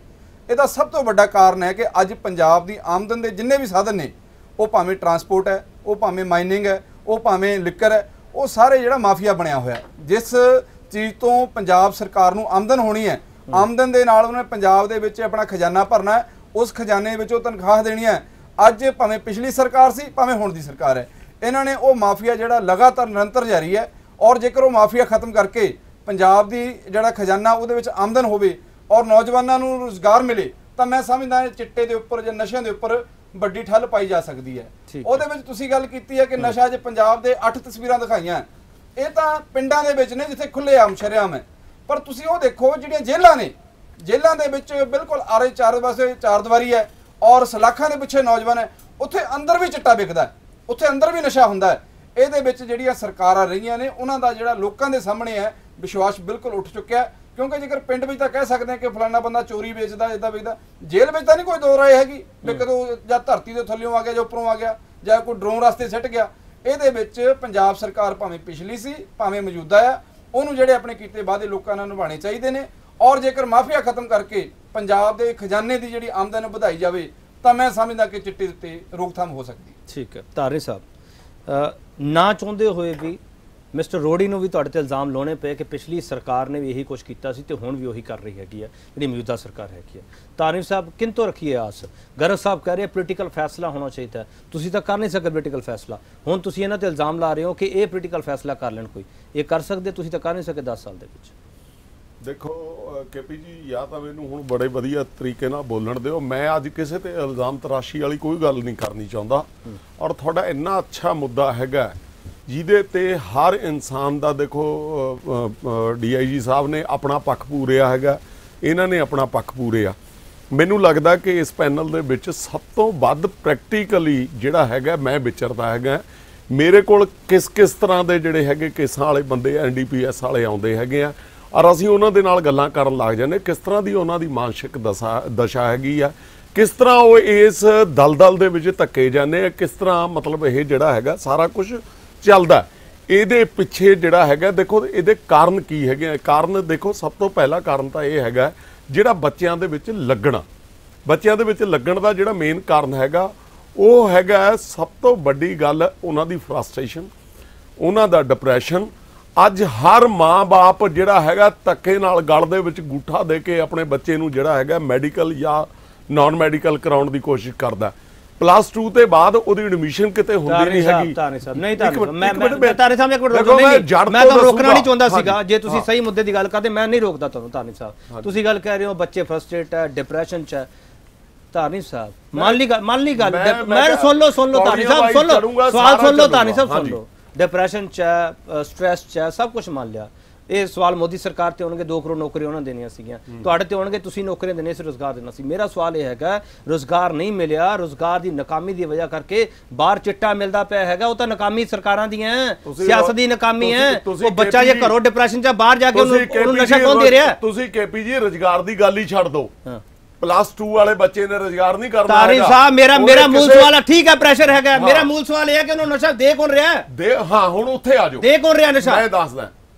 ਉਹਦੇ ਪਿੱਛੇ ਦੋ ਤਰੀਕੇ ਹੈਗੇ ਦੋ ਜਿਹੜੀਆਂ ਹੈਗੀਆਂ ਪਾਵਰਾਂ ਕੰਮ ਕਰ ਰਹੀਆਂ ਹੈਗੀਆਂ। ਇਹ ਬਹੁਤ ਚੰਗੀ ਤਰ੍ਹਾਂ ਜਾਣਦੇ ਹੈਗੇ। ਇੱਕ ਪਾਵਰਾਂ ਉਹ ਬੈਠੀਆਂ ਹੈਗੀਆਂ ਜਿਹੜੀਆਂ ਇਹ ਗੋਰਖ ਧੰਦਾ ਬੈਠੀਆਂ ਕਰਵਾ ਰਹੀਆਂ। ਚਾਹੇ ਉਹ ਬਾਰਡਰ ਤੇ ਪਾਰ ਬੈਠੀਆਂ ਚਾਹੇ ਉਹ ਇੱਧਰ ਬੈਠੀਆਂ ਹੈਗੀਆਂ ਜਿਨ੍ਹਾਂ ਦੇ ਆਪਸ ਦੇ ਵਿੱਚ ਲਿੰਕ ਹੈਗੇ ਆ। ਦੂਜੀਆਂ ਪਾਵਰਾਂ ਹੈਗੀਆਂ ਜਿਹੜੇ ਕੈਰੀਅਰਸ ਹੈਗੇ ਆ ਜਿਹੜੇ ਵਿੱਚ ਲੈ ਕੇ ਜਿਹੜਾ ਹੈਗਾ ਸਮਾਨ ਥੋੜੇ ਜਿਹੇ ਪੈਸਿਆਂ ਲਈ ਚੱਕੀ ਫਿਰਦੇ ਹੈਗੇ ਆ। ਸਵਾਲ ਇਹ ਹੈਗਾ ਕਿ ਇਹਨਾਂ ਚੀਜ਼ਾਂ ਨੂੰ ਖੁੱਲ ਦਿੱਤੀ ਕਿਹਨੇ ਆ? ਹਾਂ ਮੈਂ ਇਹੀ ਪੁੱਛ ਇਹ ਰਿਹਾ। ਜ਼ਿੰਮੇਵਾਰੀ ਕਿਹਦੀ ਹੈਗੀ ਆ? ਮੈਂ ਇਹੀ ਪੁੱਛ ਰਿਹਾ ਹਾਂ, ਕਿਹਨੇ ਦਿੱਤੀ ਹੈ ਜ਼ਿੰਮੇਵਾਰੀ ਹੈਗੀ ਆ ਜਿਹੜੀ ਇਹ ਬਾਰਡਰ ਤੋਂ- ਪਾਰ ਜੇ ਤੁਸੀਂ ਗੱਲ ਕਰਦੇ ਹੋ ਤਾਂ ਕੇਂਦਰ ਸਰਕਾਰ ਤੇ ਸਵਾਲ ਹੁੰਦੇ ਆ। ਬਿਲਕੁਲ, ਬਿਲਕੁਲ ਇੱਥੇ- ਹੈਗਾ। ਇੱਥੇ ਇੱਥੇ ਸਵਾਲ ਉੱਠਦੇ ਤਾਂ ਤੁਹਾਡੇ ਤੇ ਸਵਾਲ ਉੱਠਦੇ ਪਏ। ਮੈਂ ਮੈਂ ਉਹੀ ਗੱਲ ਕਰਦਾ। ਸਭ ਤੋਂ ਪਹਿਲੀ ਜਿਹੜੀ ਹੈਗੀ ਆ ਸਰਕਾਰਾਂ ਦੀ ਜ਼ਿੰਮੇਵਾਰੀ ਹੈਗੀ ਆ। ਫਿਰ ਦੂਜੀ ਜ਼ਿੰਮੇਵਾਰੀ ਜਿਹੜੀ ਮੇਨ ਜ਼ਿੰਮੇਵਾਰੀ ਹੈਗੀ ਆ ਉਹ ਐਡਮਿਨਿਸਟ੍ਰੇਸ਼ਨ ਦੀ ਹੈਗੀ ਆ। ਜਿਹਨੇ ਲਾ ਐਂਡ ਆਰਡਰ ਜਿਹੜਾ ਹੈਗਾ ਕੈਮ ਕਰਨਾ ਹੈਗਾ ਜਿਹਨੇ ਇਹ ਚੀਜ਼ਾਂ ਨੂੰ ਪੜਨਾ ਹੈਗਾ। ਮੈਂ ਇੱਕ ਛੋਟੀ ਸਰਕਾਰਾਂ ਨਾਕਾਮ ਹੈ ਨਾ। ਮੈਂ ਕਹਿੰਦਾ ਜੀ ਦੇਖੋ ਮੈਂ ਹੁਣ ਉੱਥੇ ਹੀ ਆ ਗਿਆ। ਰੋਡੀ ਸਾਹਿਬ ਨੇ ਸਾਡੇ ਕੰਨੀ ਨੂੰ ਕੁਐਸਚਨ ਉਠਾਉਣ ਦੀ ਕੋਸ਼ਿਸ਼ ਕਰੀ। ਅਸੀਂ ਸਾਨੂੰ ਤੁਸੀਂ ਇਹਨਾਂ ਨੇ ਬਦਨਾਮ ਇੰਨਾ ਕਰਤਾ ਕਿ ਅਸੀਂ ਜਿਹੜਾ ਹੈਗਾ ਨਾ। ਬੈਠੋ ਹੁਣ ਦੋ ਅਸੀਂ ਮਿੰਟ। ਇਹਨਾਂ ਨੇ ਬਿਲਕੁਲ ਆਮ ਆਦਮੀ ਪਾਰਟੀ ਨੇ ਕਰਿਆ ਇੰਨਾ। ਬਦਨਾਮ ਕਰਨ ਦੀ ਪੰਜਾਬ ਵਿੱਚ ਨਸ਼ਾ ਸੀ ਮੈਂ। ਮੈਂ ਦੱਸਦਾ ਜੀ ਇੱਕ ਮਿੰਟ ਰੁਕੋ। ਰੁਕ ਜੋ ਰੁਕੋ। ਤਾਂ ਸਹੀ ਮੈਨੂੰ ਬੋਲਣ ਦਿਓ ਮੈਂ ਬੋਲਿਆ ਇੱਕ ਲਫ਼ਜ਼ ਤੁਸੀਂ ਇੰਨੀ ਮੈਂ ਇੱਕ ਲਫ਼ਜ਼ ਬੋਲਿਆ ਮੈਂ ਮੈਨੂੰ ਬੋਲਣ ਦਿਓ। ਕਹਿ ਦਿਓ ਝੂਠਾ ਮੈਂ ਕਹਿਣਾ ਜੀ ਹੈਗਾ ਸੀ ਮੈਂ ਕਹਿਣਾ ਹੈਗਾ ਸੀ ਤੁਸੀਂ ਕਹਿੰਦੇ ਸੀ ਕਾਂਗਰਸ ਕਹਿੰਦੀ ਸੀ ਤੁਸੀਂ ਵੀ ਕਹਿੰਦੇ ਸੀ ਕਿ ਅਸੀਂ ਜਿਹੜਾ ਹੈਗਾ ਚਾਰ ਹਫ਼ਤੇ ਦੇ ਵਿੱਚ ਨਸ਼ੇ ਬੰਦ ਕਰ ਦਾਂਗੇ। ਕਿਉਂ ਨਹੀਂ ਹੋ ਰਿਹਾ ਸਾਡੀ ਸਰਕਾਰਾਂ ਨੇ ਉਹੀ ਪੁਲਿਸ ਹੈਗੀ ਆ ਉਹੀ ਐਡਮਿਨਿਸਟ੍ਰੇਸ਼ਨ ਹੈਗੀ ਆ ਇਹ ਕਿਉਂ ਨਹੀਂ ਹੋ ਰਿਹਾ ਅੱਜ ਵੀ ਨਾਕਾਮੀ ਆ। ਠੀਕ ਹੈ, ਠੀਕ ਹੈ, ਮੈਂ। ਆ ਗਿਆ। ਨਹੀਂ, ਨਹੀਂ, ਇੱਕ ਮਿੰਟ ਮੇਰੀ ਆਪਾਂ ਨਹੀਂ ਬਹਿਸ। ਨੂੰ ਇਸ ਪਾਸੇ ਮੈਂ- ਨਾਲ ਲੈ ਲਈਏ, ਮੈਂ- ਮੈਨੂੰ ਹੱਲ ਚਾਹੀਦਾ, ਨਹੀਂ, ਬਹੁਤ ਬਹਿਸ ਕਰ ਲਈ, ਮੈਂ ਨਸ਼ੇ ਤੇ ਦੀ ਬਹੁਤ ਬਹਿਸ ਕਰ। ਚੁੱਕਾ। ਨਹੀਂ, ਹੱਲ ਚਾਹੀਦਾ, ਦੀ ਨਾ, ਨਾ, ਹੱਲ ਚਾਹੀਦਾ, ਹੱਲ ਚਾਹੀਦਾ। ਮੈਂ ਨਾਕਾਮੀ ਤੁਸੀਂ ਦੀ ਤੁਸੀਂ ਕਰੂੰਗਾ। ਤੁਸੀਂ ਰੈਲੀਆਂ ਕਰ ਕਰਕੇ ਕਈ ਇਹਨੂੰ ਝੂਠੇ ਪਰਚੇ ਅਸੀਂ ਦੀ ਵਾਪਸ ਕਰਾ ਲਾਂਗੇ ਉਹ ਕਰਾ ਲਾਂਗੇ ਤੁਸੀਂ ਨਸ਼ੇ 'ਚ ਗਲਤਾਂ ਮੈਂ- ਜਵਾਨੀ ਨੂੰ ਵਾਪਸ ਲਿਆਉਂਗੇ ਦੇਖੋ ਕੇਪੀ ਜੀ ਇਸ ਤਰ੍ਹਾਂ ਨਹੀਂ ਹੈਗਾ। ਮੈਂ ਨਕਾਮੀ ਦੀ ਗੱਲ ਕਰੂੰਗਾ ਨਕਾਮੀ ਕਿਹਦੀ ਹੈਗੀ ਆ ਉਹ ਅਸੀਂ ਨਕਾਮੀਆਂ ਦੀਆਂ ਗੱਲਾਂ ਕਰਦੇ ਪਏ। ਹੱਲ ਕਿੰਦੇ ਹੱਲ ਹੈਗਾ ਤੁਹਾਡੇ ਕੋਲ ਕਿ ਨਹੀਂ? ਕਰੂੰਗਾ। ਹੱਲ ਹੈਗਾ ਕਿ ਨਹੀਂ? ਹੈਗਾ ਪੁਲਿਸ ਕੋਲ ਹੈਗਾ। ਬਾਹਰ ਰੁਕ ਜਾਓ। ਬਿਲਕੁਲ ਰੁਕ ਹੈਗਾ। ਰੁਕ ਜਾਓ ਰੁਕ ਜਾਓ ਮਾਨ ਸਿੰਘ ਜੀ ਪੁਲਿਸ ਕੋਲ ਹੀ ਹੱਲ ਹੈ। ਫਿਰ ਉਹੀ ਗੱਲ ਆ ਗਈ ਪੁਲਿਸ। ਹਾਂ। ਤੁਸੀਂ ਇੱਕ ਗੱਲ ਦੱਸੋ ਜੇਕਰ ਤੁਸੀਂ ਇਹਨੂੰ ਪੋਲੀਟੀਕਲ ਕਿੰਨੇ ਕ ਐਸਐਸਪੀ ਲੱਗੇ ਨੇ ਕਿੰਨੇ ਕ ਐਸਐਚਓ ਲੱਗੇ ਨੇ ਜਿਹੜੇ ਤੁਹਾਡੇ ਇਹਨਾਂ ਦੇ ਇਹਨਾਂ ਦੇ ਕਹਿਣ ਤੋਂ ਨਹੀਂ ਲੱਗਦੇ। ਹਰ ਥਾਂ ਤੇ ਤਾਂ ਇੰਟਰਫੀਰੈਂਸ ਹੈਗੀ ਆ ਹਰ ਥਾਂ ਤੇ ਹਰ ਬੰਦੇ ਨੂੰ ਜਿਹੜਾ ਇਹਨਾਂ ਦਾ ਕਹਿਣਾ ਨਹੀਂ ਮੰਨਦਾ ਉਹਨੂੰ ਅਗਲੇ ਦਿਨ ਬਦਲ ਦਿੰਦੇ ਨੇ। ਉਹ ਉਹਦਾ ਇਹਦਾ- ਇਹਨਾਂ ਨੇ। ਪਤਾ ਕਿਆ ਗੱਲ ਹੈਗੀ ਆ? ਉਹ ਅਗਲਾ ਗੱਲ- ਕਹਿੰਦਾ ਵੀ ਜਦ ਇੱਕ ਜਦ ਇੱਕ ਪੋਲੀਟੀਸ਼ੀਅਨ ਹੈਗਾ ਉਹ ਇੱਥੋਂ ਆਪਣਾ ਕੰਮ ਕਰੀ ਜਾਂਦਾ ਮੈਂ ਵੀ ਨਾਲ ਲੱਗ ਜਾ। ਸਵਾਲ ਕੁਐਸਚਨ ਇਹ ਨਹੀਂ ਹੈਗਾ ਸਵਾਲ ਤਾਂ ਅਸੀਂ ਹਜ਼ਾਰ ਵਾਰ ਕਹਿ ਚੁੱਕੇ ਹਾਂ ਵੀ ਜੇ ਤੁਸੀਂ ਪੁਲਿਸ ਤੋਂ ਕੰਮ ਕਰਾਉਣਾ ਤਾਂ ਪੁਲਿਸ ਨੂੰ ਇੱਕ ਇਹ ਜਿਹੜਾ ਪੋਲੀਟੀਕਲ ਸਿਸਟਮ ਹੈ ਇਸ ਤੋਂ ਫ੍ਰੀ ਕਰੋ। ਔਰ ਫਿਰ ਉਹਨਾਂ ਦੀ ਅਕਾਊਂਟੇਬਿਲਟੀ ਬਣਾਓ। ਦੇਖੋ ਚਾਹੇ ਕਿਉਂਕਿ ਸਵਾਲ ਇਸ ਗੱਲ ਦਾ ਇੱਕ। ਸਵਾਲ ਇਸ ਗੱਲ ਦਾ ਇੱਕ ਇੱਕ ਸਰਕਾਰ ਆਉਂਦੀ ਹੈ ਸਾਰਿਆਂ ਨੂੰ ਦੂਜਿਆਂ ਨੂੰ ਬਦਲਣ ਦੀ ਕਹਿੰਦੇ ਤੇ ਪਹਿਲੀ ਸਰਕਾਰ ਵਾਲੇ ਨੇ। ਫਿਰ ਦੂਜੀ ਆਉਂਦੀ ਆ ਉਹ ਕਹਿੰਦੇ ਨਹੀਂ ਇਹ ਇਹ ਠੀਕ ਨੇ। ਕੰਮ ਤਾਂ ਕਰਨ ਦਿਓ ਕੰਮ ਤਾਂ ਬੰਦਾ ਤਾਂ ਕਰੂਗਾ ਜੇ ਉਹਨੂੰ ਕਰਨ ਦੇਣਗੇ। ਠੀਕ ਠੀਕ ਹੈ ਬਹੁਤ ਬਹੁਤ ਅਹਿਮ ਸਵਾਲ ਹੈ। ਡਾਕਟਰ ਗਰਗ। ਹਮੇਸ਼ਾ ਇੱਥੇ ਐਗਜ਼ਾਮਪਲ ਇਹ ਲਈ ਜਾਂਦੀ ਹੈ ਕਿ ਇੱਥੇ ਕਿਹਾ ਜਾਂਦਾ ਕਿ ਪੰਜਾਬ ਨੂੰ ਕੈਲੀਫੋਰਨੀਆ ਬਣਾ ਦਾਂਗੇ ਕਦੇ ਕਹਿੰਦੇ ਪੈਰਿਸ ਬਣਾ ਦਾਂਗੇ ਕਦੇ ਮੁੰਬਈ ਨੂੰ ਸ਼ੰਘਾਈ ਦੀ ਗੱਲ ਹੁੰਦੀ ਹੈ ਬਹੁਤ ਇਹੋ ਜਿਹੀਆਂ ਐਗਜ਼ਾਮਪਲਾਂ ਦਿੱਤੀਆਂ ਜਾਂਦੀਆਂ। ਮੈਂ ਫੋਰਨ ਦੀ ਇੱਕ ਐਗਜ਼ਾਮਪਲ ਜ਼ਰੂਰ ਚੱਕਣਾ ਚਾਹੁੰਦਾ। ਪੁਰਤਗਾਲ ਤੇ ਫਿਲੀਪੀਨਸ ਦੀ ਪੁਰਤਗਾਲ ਦੇ ਵਿੱਚ ਜਿਸ ਤਰੀਕੇ ਨਾਲ ਕੰਮ ਕੀਤਾ ਗਿਆ ਹੈ ਕਿ ਕਿ ਉਹੋ ਜੀ ਨੀਤੀ ਸਾਡੇ ਪੰਜਾਬ ਦੇ ਵਿੱਚ ਜਾਂ ਸਾਡੇ ਮੁਲਕ ਦੇ ਵਿੱਚ ਅਪਣਾਉਣੀ ਚਾਹੀਦੀ ਹੈ ਜਾਂ ਫਿਲੀਪੀਨਸ ਦੇ ਵਿੱਚ ਜਾਂ ਸਿੱਧਾ ਵੀ ਹਾਂ ਵੀ ਚੱਕ ਦਿਓ ਜਿਹੜਾ ਜਿਹੜਾ ਨਸ਼ੇ ਦੇ ਵਿੱਚ ਗਲਤਾਂ ਕਿਹੜੀ ਨੀਤੀ ਅਪਣਾਉਣੀ ਚਾਹੀਦੀ ਜਿਹਦਾ ਹੱਲ ਹੱਲ ਵਾਲੀ ਗੱਲ ਕਰਨਾ ਹੱਲ ਦੀ ਗੱਲ ਕਰਦਾ। ਹਾਂ। ਪਹਿਲੀ ਗੱਲ ਇਹ ਹੈ ਜਿਹੜੇ ਨਸ਼ੇ 'ਚ ਲੱਗੇ ਨੇ ਉਹ ਵਿਕਟਮ ਨੇ। ਜਿਵੇਂ ਕੋਈ ਮਲੇਰੀਆ ਦਾ ਬਿਮਾਰ ਹੈ। ਕੋਈ ਕੈਂਸਰ ਦਾ ਬਿਮਾਰ ਹੈ ਉਹਨੂੰ ਅਸੀਂ ਇਹ ਨਹੀਂ ਕਹਿੰਦੇ ਵੀ ਤੇਰੀ ਜ਼ਿੰਮੇਵਾਰੀ ਹੈ। ਉਹਦਾ ਅਸੀਂ ਇਲਾਜ ਕਰਦੇ ਹਾਂ ਉਹਨੂੰ ਜੇਲ੍ਹ 'ਚ ਨਹੀਂ ਸੁੱਟਦੇ। ਆ ਉਹ, ਉਹਦੇ 'ਚ patient। ਕੇਸ ਨਹੀਂ। ਸੋ ਇਹ ਨਸ਼ੇ ਦਾ ਹੱਲ ਇਹ ਹੈ ਕਿ ਉਹਨਾਂ ਨੂੰ ਮੁੜ ਕੇ ਸਰਿੰਜਾਂ ਸਪਲਾਈ ਕਰੋ। WHO 'ਚ ਸਾਡਾ ਦੇਸ਼ ਸਿਗਨੇਟਰੀ ਵੀ ਹੈ ਵੀ ਕੋਈ ਗੱਲ ਨਹੀਂ ਤੁਸੀਂ ਬੈਠੋ ਤੁਸੀਂ ਜਿਹਨਾਂ ਨਸ਼ਾ ਕਰਨਾ ਕਰੋ ਪਰ ਉਹਨਾਂ ਨੂੰ ਸਮਝਾਉਣਾ ਨਾਲ ਕਾਉਂਸਲਿੰਗ ਕਰੀ ਜਾਣੀ ਹੈ। ਕਿਉਂਕਿ ਜਿਹੜੇ ਲੱਗ ਚੁੱਕੇ ਉਹਨਾਂ ਨੂੰ ਤੁਸੀਂ ਐ ਨਹੀਂ ਵੀ ਹੁਣ ਜਿਵੇਂ ਇਹਨਾਂ ਨੇ ਮਾਨ ਸਿੰਘ ਜੀ ਨੇ ਠੀਕ ਹੈ ਵੀ ਜਿਹਦੇ ਕੋਲ 2 ਗ੍ਰਾਮ ਹੈ 1 ਗ੍ਰਾਮ ਹੈ ਮਾੜਾ ਮੋਟਾ ਫੜੇਗਾ ਉਹ 29 30 ਹਜ਼ਾਰ ਬੰਦਾ ਜਿਹੜਾ ਫੜਿਆ ਨਾ ਉਹ ਚੋਂ ਮੈਜੋਰਟੀ ਇਹ ਹੈ। ਇੱਕ ਤਾਂ ਇਹ ਪਾਰਟ ਹੈ ਕਿ ਸਾਨੂੰ ਜਿਹੜੇ ਨਸ਼ੇੜੀ ਨੇ ਉਹਨਾਂ ਦੀ ਆਇਡੈਂਟੀਫਿਕੇਸ਼ਨ ਲੋਕਾਂ ਨਾਲ ਹੀ ਹੋ ਜਾਂਦੀ ਹੈ। ਅੱਜ ਕੱਲ੍ਹ ਦੇ ਲੋਕ ਇੰਨੇ ਦੁਖੀ ਹੋ ਗਏ ਬਹੁਤ ਸਾਰੇ ਦੱਸਣ ਨੂੰ ਵਿਚਾਰ ਨੇ ਹੁਣ। ਕਿ ਵੀ ਅਸੀਂ ਉਹਨਾਂ ਦੀ ਆਇਡੈਂਟੀਫਿਕੇਸ਼ਨ ਕਰਕੇ ਉੱਥੇ ਲੋਕਲ ਲੈਵਲ ਤੇ ਅਸੀਂ ਕੀ ਕਰ ਰਹੇ ਹਾਂ ਸਾਡੀ ਪੋਲਿਟਿਕਸ ਦਾ ਇੱਕ ਪ੍ਰੋਬਲਮ ਵੱਡੀ ਆ ਗਈ ਹੈ। ਇਹ ਬਿਊਰੋਕ੍ਰੇਸੀ ਨੂੰ ਬਿਊਰੋਕ੍ਰੇਸੀ ਦਾ ਰੋਲ ਹੈ ਪੁਲਿਸ ਦਾ ਰੋਲ ਹੈ ਡਾਕਟਰਾਂ ਦਾ ਰੋਲ ਹੈ ਪਰ ਪੋਲੀਟੀਕਲ ਫੈਸਲੇ ਤੋਂ ਬਗੈਰ ਕੋਈ ਬੰਦਾ ਹੱਥ ਪਾਉਣ ਨੂੰ ਤਿਆਰ ਨਹੀਂ ਹੋਗਾ ਕਹਿੰਦਾ ਕੱਲ ਨੂੰ ਮੈਨੂੰ ਚਾਰ ਰਗੜ ਦੇਣਗੇ। ਇਹ ਹੋਇਆ। ਬੰਦੇ ਨੂੰ ਮਰਵਾਨ ਤੱਕ ਗਏ ਨੇ। ਸੋ ਇਸ ਕਰਕੇ ਪੋਲੀਟੀਕਲ ਫੈਸਲਾ ਨਾ ਹੋਣ ਕਰਕੇ ਪੋਲੀਟੀਕਲ ਫੈਸਲੇ ਗਾਹਾਂ ਕੀ ਹੈ? ਪੋਲੀਟੀਕਲ ਫੈਸਲੇ 'ਚ ਲੋੜ ਹੈ ਲੋਕਾਂ ਦੇ ਵੱਡੇ ਤੰਤਰ ਨੂੰ ਸ਼ਾਮਲ ਕਰਨ ਦੀ। ਸਰਕਾਰ ਨੇ ਜਿੰਨੀਆਂ ਕੋਸ਼ਿਸ਼ਾਂ ਹੁਣ ਤੱਕ ਕਰੀਆਂ ਨੇ ਉਹਦੇ 'ਚ ਆਮ ਲੋਕਾਂ ਨੂੰ ਸ਼ਾਮਲ ਨਹੀਂ ਕਰਿਆ ਆਪਦੇ ਤੰਤਰ ਨੂੰ ਸ਼ਾਮਲ ਕਰਿਆ। ਉਹ ਤੰਤਰ ਦਾ ਕੰਮ ਹੀ ਨਹੀਂ ਕਰ ਰਿਹਾ ਆਲਰੇਡੀ ਉਹ ਵੱਡੀ ਪ੍ਰੋਗਰਾਮ, ਇਹ ਉਹ ਸਭ ਪ੍ਰੋਗਰਾਮ ਬਣਾਏ ਸੀ। ਮੈਂ ਹਾਂ ਸਾਰੇ ਸਾਰੇ ਫੇਲ ਹੋਣਗੇ। ਤੁਸੀਂ ਪਿੰਡਾਂ ਦੀਆਂ ਗ੍ਰਾਮ ਸਭਾ ਕਰਕੇ ਪਿੰਡ ਦੇ ਲੋਕਾਂ ਦੇ ਉੱਤੇ ਔਰਤਾਂ ਜਿਹੜੀਆਂ ਨਸ਼ਾ ਬਹੁਤ ਘੱਟ ਕਰਦੀਆਂ ਮੇਰੇ ਕੋਲ ਰਿਪੋਰਟ ਪਈ ਹੈ ਸਾਰੀ ਡਿਟੇਲ ਚ ਜਿਹੜੀ ਆਪਾਂ ਉਹਦੀ ਕਹਿੰਦੇ ਕੱਢੀ ਕੱਢੀ ਵੀ ਕਿੰਨੇ ਪਰਸੈਂਟ ਕੌਣ ਨੇ ਪੜ੍ਹੇ ਕਿੰਨੇ ਨੇ ਤੇ EMPLOYED ਕਿੰਨੇ ਨੇ ਉਹ ਗੱਲ ਨਹੀਂ ਛੱਡੀਏ। ਸੋ ਉਹਦੇ ਵਿੱਚ ਕੀ ਹੈ ਕਿ ਤੁਸੀਂ ਏਡੀਆਂ ਕਮੇਟੀਆਂ ਸ਼ਹਿਰਾਂ 'ਚ ਵੀ ਪਿੰਡਾਂ 'ਚ ਵੀ ਮਹੱਲਾ ਕਮੇਟੀਆਂ ਹੋਣ ਉਹ ਕਮੇਟੀਆਂ ਆਪਦੇ ਏਰੀਏ ਦਾ ਧਿਆਨ ਰੱਖਣ। ਉਹ ਤਾਂ ਪਰ ਉਹ ਫਿਰ ਤੁਹਾਨੂੰ ਬਾਕੀ ਸਵਾਲ ਵੀ ਕਰਨੀਆਂ ਵੀ ਪਾਣੀ ਕਿਉਂ ਨਹੀਂ ਆਉਂਦਾ ਇੱਥੇ ਆ ਕਿਉਂ ਨਹੀਂ ਇੱਥੇ ਮਨਰੇਗਾ ਦਾ ਕਾਰਡ ਕਿਉਂ ਨਹੀਂ ਬੰਦਾ ਸੋ ਪੋਲਿਟਿਕਸ ਇਸ ਗੱਲ ਤੋਂ ਡਰਦੀ ਹੈ ਕਿ ਜੇ ਲੋਕਾਂ ਕੋਲ ਤਾਕਤ ਚਲੀ ਗਈ ਤਾਂ ਸਾਨੂੰ ਸਵਾਲ ਹੋਣਗੇ। ਸਾਡਾ ਪਰਿਵਾਰਵਾਦ ਚੱਲਣਾ ਨਹੀਂ। ਫਿਰ ਸਾਡੇ ਉੱਤੇ ਨੌਕਰੀਆਂ ਬਾਰੇ ਮਨਰੇਗਾ ਬਾਰੇ ਕਿਸਾਨਾਂ ਦੇ ਸੁਈਸਾਈਡ ਬਾਰੇ ਸਾਰੇ ਸਵਾਲ ਹੋਣਗੇ ਯੂਥ ਦੀ ਅਨਪਲਾਈਮੈਂਟ ਬਾਰੇ ਪੜ੍ਹਾਈ ਬਾਰੇ ਹੈਲਥ ਬਾਰੇ ਵੀ ਉਹਨਾਂ ਤੋਂ ਡਰਦੇ ਇਹ ਲੋਕਾਂ ਨੂੰ ਨੌਲੇਜ ਅੱਜ ਨਸ਼ੇ ਦੀ ਐਡੀ ਵੱਡੀ ਜੋ ਤੁਸੀਂ ਕਹਿੰਦੇ ਹੋ ਸੋਲੂਸ਼ਨ ਦੀ ਹੱਲ ਐਡਾ ਵੱਡਾ ਸਮੱਸਿਆ ਪੰਜਾਬ ਦੀ ਬਣ ਗਈ ਹਾਲਾਂਕਿ ਬਾਕੀ ਆ 49% ਤੁਸੀਂ ਮੰਨੋਗੇ? ਪੂਰੇ ਹਿੰਦੁਸਤਾਨ ਦੇ ਨਸ਼ੇ ਦਾ 49% ਪੰਜਾਬ 'ਚ ਹੈ। ਇਹ ਰਿਪੋਰਟਾਂ ਸਰਕਾਰ ਦੀਆਂ ਮੈਨੂੰ ਨੇ। ਬੜਾ ਗੁੱਸਾ ਚੜਦਾ ਹੁੰਦਾ ਸੀ ਜਦੋਂ ਪੰਜਾਬੀਆਂ ਨੂੰ ਛੇੜੀ ਜਾਂਦਾ ਇਹ ਮੈਨੂੰ ਬਹੁਤ ਗੁੱਸਾ ਜਿਹੜਾ ਚੜਦਾ ਸੀ। ਇਹ ਜਿਹੜਾ ਜਿਹੜੀ ਲੋੜ ਹੈ ਸਾਡੀ ਅੱਜ ਵੀ ਇੰਨਾ ਤਕੜਾ ਪੰਜਾਬ ਅੱਜ ਸਾਨੂੰ ਲੋਕਾਂ ਨੂੰ ਟੋਟਲ ਲੈਵਲ ਤੇ ਇਨਵੋਲਵ ਕਰਕੇ ਵੀ ਦੇਖੀ ਜੋ ਜੋ ਹੁੰਦਾ ਲੋਕ ਸਵਾਲ ਕਰਦੇ ਨੇ, ਕਰਨ ਦੋ। ਲੋਕਾਂ ਨੂੰ ਕਰਨ ਲਓ ਇਨਵੋਲਵ ਇਹ ਨਸ਼ਾ ਛੇਤੀ ਰੋਕੇਗਾ। ਲੋਕਾਂ ਨੂੰ ਨਾਲ ਜੋੜਨਾ ਪਊਗਾ। ਇੱਕ ਛੋਟਾ ਜਿਹਾ ਬ੍ਰੇਕ ਲੈਣੇ ਬ੍ਰੇਕ ਤੋਂ ਵਾਪਸ ਆਵਾਂਗੇ। ਮੈਂ ਦੱਸ ਰਿਹਾ ਸੀਗਾ ਕਿ ਮੈਨੂੰ ਬੜਾ ਨਸ਼ਾ ਗੁੱਸਾ ਚੜਦਾ ਹੁੰਦਾ ਸੀਗਾ ਜਦੋਂ ਕੋਈ ਨਸ਼ੇੜੀ ਕਹਿੰਦਾ ਹੁੰਦਾ ਸੀਗਾ, ਪੰਜਾਬੀ ਨਸ਼ੇੜੀ ਹੈ। ਜਾਂ ਸਾਨੂੰ ਕੋਈ ਇਹ ਕਹਿ ਕੇ ਸੰਬੋਧਨ ਕਰਦਾ ਸੀ, ਜੇ ਤੂੰ ਸ਼ਰਾਬ ਨਹੀਂ ਪੀਂਦਾ, ਤੂੰ ਕਾਹਦਾ ਪੰਜਾਬੀ ਹੈਗਾ? ਬਹੁਤ ਗੁੱਸਾ ਚੜਦਾ ਸੀਗਾ। ਪਰ ਅੱਜ ਦੁੱਖ ਹੋ ਰਿਹਾ।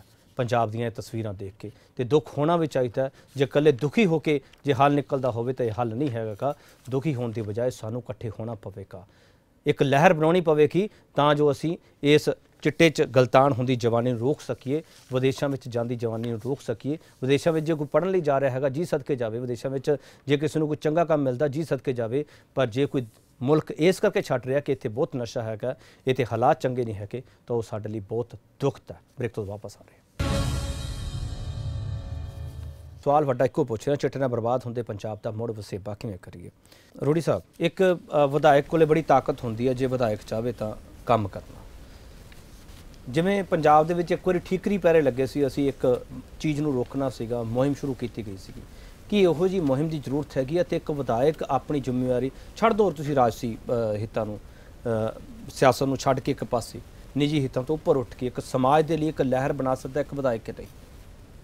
ਜਦੋਂ ਤੁਸੀਂ ਪਹਿਲਾਂ ਗੱਲ ਕੀਤੀ ਨਾ ਕਿ ਤੁਹਾਡਾ ਜਿਹੜਾ ਮਨ ਹੈ। ਉਹ ਕਾਫੀ ਦੁਖੀ ਹੁੰਦਾ ਜਦੋਂ ਲੋਕ ਪੰਜਾਬੀ ਨੂੰ ਕਿਸੇ ਨੂੰ ਨਸ਼ੇੜੀ ਕਹਿੰਦੇ ਆ। ਔਰ ਸੱਚ ਵਿੱਚ ਜਦੋਂ ਤੁਸੀਂ ਅੱਜ ਗੱਲ ਕੀਤੀ ਕਿ ਜਿਹੜੇ ਕਾਂਗਰਸ ਦੇ ਬੁਲਾਰੇ ਆ ਉਹ ਟੈਲੀਵਿਜ਼ਨ ਦੇ ਉੱਪਰ ਆ ਕੇ ਡਿਬੇਟ ਦੇ ਵਿੱਚੋਂ ਹੀ ਭੱਜ ਗਏ ਆ ਤਾਂ ਉਹਨਾਂ ਨੇ ਚਾਹੁੰਦੇ ਹਜੇ ਕਿਉਂਕਿ ਉਹਨਾਂ ਦੀ ਉਹਨਾਂ ਦੀ। ਪਾਰਟੀ ਨੇ ਕਿਹਾ ਹੋਇਆ ਮਹੀਨਾ ਨਹੀਂ ਹੋਣਾ ਹੋਰ ਨਹੀਂ ਹੋਣਾ ਦੇਖੋ ਉਹ ਲੋਕਾਂ ਤੋਂ ਜਿਹੜੇ ਆ ਜਵਾਬ ਦੇਣ ਤੋਂ ਭੱਜ ਰਹੇ ਆ ਹਾਂ, ਇਹ ਤੁਸੀਂ ਕਹਿ ਸਕਦੇ ਹੋ। ਕਿਉਂਕਿ ਲੋਕਾਂ ਦੇ ਜਵਾਬ ਦੇਣ ਤੋਂ ਭੱਜਦੇ ਆ ਉਹਨਾਂ ਕੋਲ ਅੱਜ ਲੋਕ ਜੋ ਪ੍ਰਸ਼ਨ ਕਰ ਰਹੇ ਆ, ਕਿਉਂਕਿ ਅਸੀਂ ਤਾਂ ਉਹੀ ਬੋਲਣਾ ਜੋ ਲੋਕਾਂ ਨੇ ਸਾਨੂੰ ਦੱਸਣਾ ਅਸੀਂ ਜਿੰਨੇ ਵੀ ਇੱਥੇ ਬੈਠੇ ਆ ਅਸੀਂ ਲੋਕਾਂ ਦੇ ਹੀ ਜਾਣੀ ਕਿ ਜਾਣੀ ਕਿ ਮਾਊਥ ਪੀਸ ਆ ਜੋ ਲੋਕ ਕਹਿੰਦੇ ਨੇ ਅਸੀਂ ਉਹ ਗੱਲ ਕਰਦੇ ਆ ਔਰ ਅੱਜ ਕਾਂਗਰਸ ਭੱਜ ਚੁੱਕੀ ਹੈ। ਔਰ ਮੈਨੂੰ ਦੁੱਖ ਇਹ ਵੀ ਲੱਗਾ ਕਿ ਧਾਰਨੀ ਸਾਹਿਬ ਕਹਿੰਦੇ ਆ ਕਿ 10 ਸਾਲ ਸਾਡੀ ਸਰਕਾਰ ਰਹੀ ਹੈ ਤੇ ਤੁਸੀਂ ਸਾਨੂੰ ਬਦਨਾਮ ਕੀਤਾ। ਔਰ ਜੇਕਰ ਮੈਂ ਧਾਰਨੀ ਸਾਹਿਬ ਨੂੰ ਪੁੱਛਣਾ ਚਾਹੁੰਦਾ ਔਰ ਤੁਸੀਂ ਮੈਨੂੰ ਕਿਹਾ ਕਿ ਵਿਧਾਇਕ ਹੋਣ ਦੇ ਨਾਤੇ ਤੁਸੀਂ ਨਸ਼ੇ ਤੇ ਠੱਲ ਪਾਉਣ ਲਈ ਕੀ ਕੀਤਾ? ਔਰ ਮੇਰੇ ਮਨ ਨੂੰ ਕਿਤੇ ਨਾ ਕਿਤੇ ਇਹ ਸਕੂਨ ਵੀ ਹੈ। ਤੁਹਾਡੇ ਚੈਨਲ ਨੇ ਵੀ ਦਿਖਾਇਆ ਔਰ ਪੰਜਾਬ ਦੇ ਬਾਕੀ ਜਿੰਨੇ ਵੀ ਚੈਨਲ ਹੈ ਉਹਨਾਂ ਸਾਰਿਆਂ ਦੇ ਉੱਤੇ ਸਾਡੀ ਗੜਸ਼ਿਕਰ ਦੀਆਂ ਸਪੈਸ਼ਲ ਨਿਊਜ਼ ਚੱਲਦੀ ਰਹਿੰਦੀ ਹੈ। ਸਾਡੇ ਹਲਕੇ ਦੇ ਵਿੱਚ ਇੱਕ ਪਿੰਡ ਹੈ ਦੇਨੋਵਾਲ ਪਿੰਡ ਜਿਹੜਾ ਛੋਟਾ ਦੇਨੋਵਾਲ ਜਿਹਨੂੰ ਬਸਤੀ ਸੈਂਸੀਆਂ ਵੀ ਕਿਹਾ ਜਾਂਦਾ ਹੈ। ਔਰ ਉਸ ਪਿੰਡ ਦੇ ਵਿੱਚ ਲਗਭਗ ਅੱਧੇ ਨਾਲੋਂ ਪਿੰਡ ਦੇ ਉੱਤੇ ਵੱਧ ਪਰਚੇ ਦਰਜ ਨੇ ਜ਼ਮਾਨਤ ਤੇ ਫੇਰ ਆ ਜਾਂਦੇ ਨੇ। ਪਰ ਜਦੋਂ ਵੱਡੀ ਗਿਣਤੀ ਦੇ ਵਿੱਚ ਹਰ ਰੋਜ਼ ਇੱਕ ਨੌਜਵਾਨ ਦੋ ਨੌਜਵਾਨਾਂ ਦੀ ਮੌਤ ਹੋਣ ਲੱਗ ਪਈ ਤਾਂ ਮੈਂ ਐਸਐਚਓ ਨੂੰ ਵੀ ਕਿਹਾ ਡੀਐਸਪੀ ਨੂੰ ਵੀ ਕਿਹਾ ਜਦੋਂ ਉਹਨਾਂ ਦੇ ਕੰਨ ਤੇ ਜੂੰ ਨਹੀਂ ਸਰਕੀ ਕੋਈ ਵੀ ਉੱਥੇ ਨਹੀਂ ਗਿਆ ਤਾਂ ਮੈਂ ਆਪ ਆਪਣੀ ਗੱਡੀ ਚੱਕ ਕੇ ਉੱਥੇ ਗਿਆ। ਔਰ ਵੱਡੀ ਤਾਦਾਦ ਦੇ ਵਿੱਚ ਜਿਹੜੇ ਨਸ਼ਾ ਖਰੀਦਣ ਵਾਲੇ ਸੀ ਔਰ ਵੇਚਣ ਵਾਲੇ ਸੀ ਆਪ ਉੱਥੇ 1 ਘੰਟਾ ਬੈਠਿਆ। ਬਿਠਾਲ ਕੇ ਪੁਲਿਸ ਨੂੰ ਸੱਦਿਆ। ਮੈਂ ਬੈਠਾ 1 ਘੰਟਾ ਤਾਂ ਪਿਆ ਪੁਲਿਸ ਉੱਥੇ 1 ਘੰਟਾ ਲੇਟ ਆਈ। ਕੀ ਕਾਰਨ ਰਹੇ ਹੋਣਗੇ? ਫਟਕ ਲੱਗ ਗਿਆ ਜਾਂ ਕੋਈ ਪ੍ਰੈਸ਼ਰ ਸੀ ਜਾਂ ਕੀ ਸੀ ਮੈਨੂੰ ਨਹੀਂ ਪਤਾ। ਪਰ 1 ਘੰਟੇ ਬਾਅਦ ਆਈ ਔਰ ਉੱਥੇ ਜਦੋਂ ਮੈਂ ਉਹਨਾਂ ਬੰਦਿਆਂ ਨੂੰ ਫੜਾਇਆ ਅਰੈਸਟ ਕਰਵਾਇਆ ਉਸ ਤੋਂ ਬਾਅਦ ਸਾਡਾ ਪੂਰਾ ਹਲਕਾ ਉੱਠ ਖੜਿਆ। ਕੱਲੇ ਕੱਲਾ ਪਿੰਡ ਕੱਲੇ ਕੱਲੇ ਬੱਚੇ ਦਾ ਨਾਮ ਸਾਡੇ ਕੋਲ ਆਇਆ। ਰੋੜੀ ਸਾਹਿਬ ਰੋੜੀ ਮੈਂ- ਸਾਹਿਬ ਮੈਨੂੰ ਪੂਰੀ ਗੱਲ ਕਰ ਮੈਂ ਲੈਣ ਤੁਹਾਡੀ ਤੁਹਾਡੀ ਗੱਲ ਨਾਲ ਮੈਂ ਸਹਿਮਤ ਸਹਿਮਤੀ ਵੀ ਪ੍ਰਗਟਾ ਦੂੰਗਾ। ਸਾਡੇ ਕੋਲ ਵੀ ਖਬਰਾਂ ਹੁੰਦੀਆਂ ਨੇ। ਰੋੜੀ ਸਾਹਿਬ ਸਵਾਲ ਇਹ ਹੈ ਕਿ ਜਿਹੜੀ ਗੱਲ ਡਟ ਗਰਖਰਾਂ ਨੇ ਕਹੀ ਹੈ ਕਿ ਗ੍ਰਾਮ ਸਭਾ ਨੂੰ ਅਸੀਂ ਮਜ਼ਬੂਤ ਕਰੀਏ ਤਾਕਤ ਉੱਥੇ ਵੰਡੀਏ ਹਰ ਜਗ੍ਹਾ ਤੇ ਵਿਧਾਇਕ ਵੀ ਨਹੀਂ ਪਹੁੰਚ ਸਕਦਾ। ਤੁਹਾਡੀ ਗੱਲ ਨਾਲ ਮੈਂ ਸਹਿਮਤ ਹਾਂ। ਹਾਂ ਮੈਂ ਇਹੀ ਤੁਹਾਨੂੰ ਗੱਲ ਕਹਿ ਰਿਹਾ। ਉਸ ਤੋਂ ਬਾਅਦ ਕੀ ਹੋਇਆ ਕਿ ਜਿਹੜੇ ਆਲੇ ਦੁਆਲੇ ਦੇ ਨੌਜਵਾਨ ਪਿੰਡਾਂ ਦੇ ਸੀ ਉਹ ਵੀ ਮੁੰਡਿਆਂ ਨੇ ਹੌਸਲਾ ਕੀਤਾ।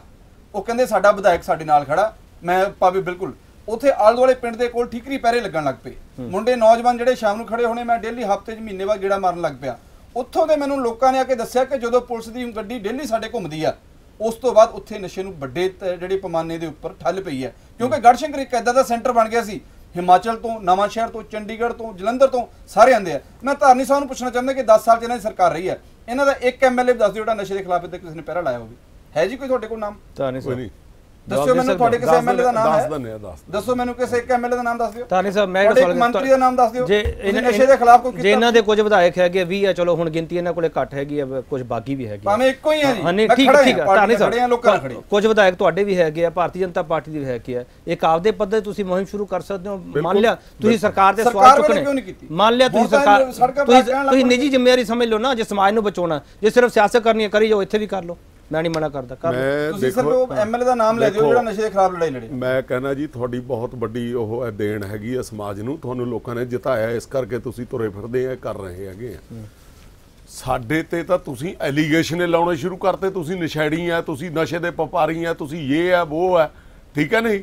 ਸਵਾਲ ਇਹ ਹੈਗਾ ਕਿ ਬਿਲਕੁਲ ਮੈਂ ਹੁਣ ਉਸ ਪਾਸੇ ਨੂੰ ਪੈਂਦਾ ਤੁਸੀਂ ਹਰੇਕ ਵਾਰ ਮੇਰੇ ਕੋਲ ਕੁਐਸਚਨ ਕਰਦੇ ਆ। ਮੈਂ ਕਹਿੰਦਾ ਹਰ ਵਿਧਾਇਕ ਦੀ ਜ਼ਿੰਮੇਵਾਰੀ ਬਣਦੀ ਹੈਗੀ ਆ।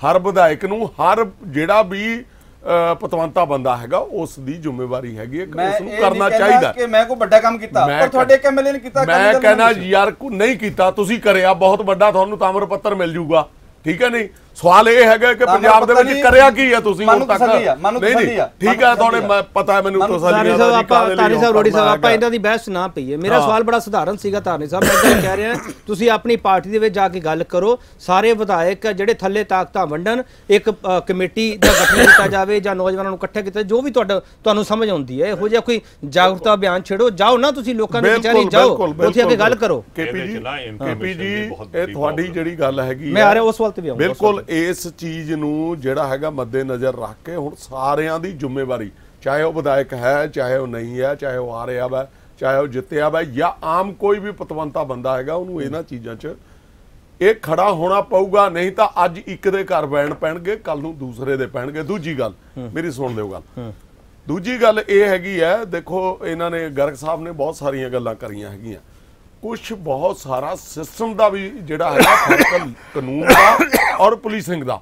ਪੁਲਿਸ ਦਾ ਪਤਾ ਆਪਣੇ ਹੱਥ ਤੇ ਝਾੜ ਰਹੀ ਹੈ ਕਿ ਜੀ ਪੋਲੀਟੀਕਲ ਬੰਦੇ ਹੋਣ ਕਰਕੇ ਅਸੀਂ ਤਾਂ ਜੀ ਇਸ ਕਰਕੇ ਸਾਡੇ ਹੱਥ ਬੰਨੇ ਹੋਏ ਹੈਗੇ ਆ। ਦੂਜੇ ਪਾਸੇ ਕਾਨੂੰਨ ਨੇ ਵੀ ਜਿਹੜੀਆਂ ਹੈਗੀਆਂ ਬਹੁਤ ਸਾਰੀਆਂ ਧੱਜੀਆਂ ਡਾਈਆਂ ਗਰਗ ਸਾਹਿਬ ਨੂੰ ਪਤਾ ਹੈ ਪਹਿਲਾਂ ਡਰੱਗ ਐਂਡ ਕਾਸਮੈਟਿਕਸ ਐਕਟ ਹੁੰਦਾ ਸੀ।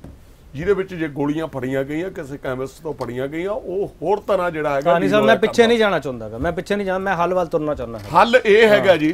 ਹੱਲ ਇਹ ਹੈਗਾ ਕਿ ਤੁਸੀਂ ਜਿਹੜੇ 2-2 ਗ੍ਰਾਮ ਵਾਲਿਆਂ ਨੂੰ ਚੱਕ ਚੱਕ ਕੇ ਅੰਦਰ ਭੇਜ ਰਹੇ ਆ ਨਾ ਤੁਸੀਂ ਇੱਕ ਡਰੱਗ ਦੀ ਯੂਨੀਵਰਸਿਟੀ 'ਚ ਭੇਜ ਰਹੇ ਆ ਜਿੱਥੇ ਤੋਂ ਉਹ ਸਾਰਾ ਕੁਝ ਸਿੱਖ ਸਿੱਖ ਕੇ ਬਾਹਰ ਆ ਰਹੇ ਆ। ਠੀਕ ਹੈ। ਇਹ ਯੂਨੀਵਰਸਿਟੀਆਂ ਪੁਰਾਣੀਆਂ ਨਾ ਜਿਹਨੂੰ ਯੂਨੀਵਰਸਿਟੀ ਕਹਿ ਰਹੇ ਤੁਸੀਂ। ਸ਼ੁਰੂ ਤੋਂ ਹੀ ਆ। ਇਹ ਇਹ ਵੀ ਬਹੁਤ ਅਹਿਮ ਹੈਗਾ। ਹਾਂਜੀ। ਮਾਨ ਸਿੰਘ ਜੀ।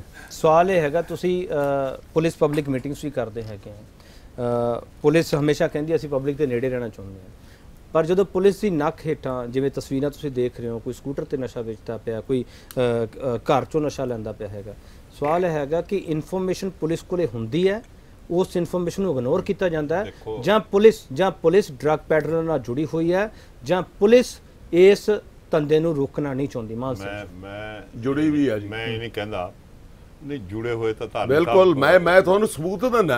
ਤਾਂ ਫਿਰ ਮੈਂ ਤੁਹਾਨੂੰ ਪੋਲੀਟੀਸ਼ੀਅਨਾਂ ਦੇ ਦਾਂ? ਕਿੰਨੇ ਦਾ ਦਵਾਂ ਬੋਲੋ? ਬਿਲਕੁਲ ਦਿਓ, ਬਿਲਕੁਲ ਦਿਓ। ਮੈਂ ਤੁਹਾਨੂੰ 50 ਨਾਂ ਦੇ ਦਿੰਦਾ ਹੁਣ। ਸਾਰੇ ਚੋਰ ਫੜੇ ਜਾਣਗੇ। ਜਿਹੜੇ ਕਿ ਸਾਡੇ ਨਾਲ ਹੀ ਨੇ। ਸਾਨੂੰ ਹੀ ਕਹਿੰਦੇ ਰਹੇ। ਮੈਂ ਮੈਂ ਤਾਂ ਤੁਹਾਨੂੰ ਤੁਸੀਂ ਪਲੀਜ਼ ਦੇਖੋ ਇਹ ਇਹ ਗੱਲਾਂ ਤੇ ਨਾ ਜਾਓ ਕਿਉਂਕਿ I know better than you ਫਿਰ ਆਹੀ ਤਾਂ ਗੱਲ ਆ ਨਾ ਮੈਨੂੰ ਪਤਾ ਰਿਹਾ ਮੇਰੀ ਮੈਂ ਮੈਂ। ਸੱਤ ਜ਼ਿਲ੍ਹਾ ਦਾ ਐਸਐਸਪੀ ਰਿਹਾ ਮੈਨੂੰ ਪਤਾ ਮੈਨੂੰ ਕਿੱਥੇ ਪਤਾ ਕਿਆ ਹੈ ਜੀ ਮੈਨੂੰ ਪਤਾ ਹੈ ਮੈਂ ਵੀ ਬਹੁਤ ਸਾਰੇ ਐਸਐਸਪੀ ਨੂੰ ਜਾਣਦਾ ਆਪਾਂ ਆਪਾਂ ਸੁਣ ਲਈਏ ਨਹੀਂ ਮੈਂ ਆਉਂਗਾ ਤੁਹਾਡੇ ਕੋਲ। ਗੱਲ ਕਹਿ ਰਿਹਾ।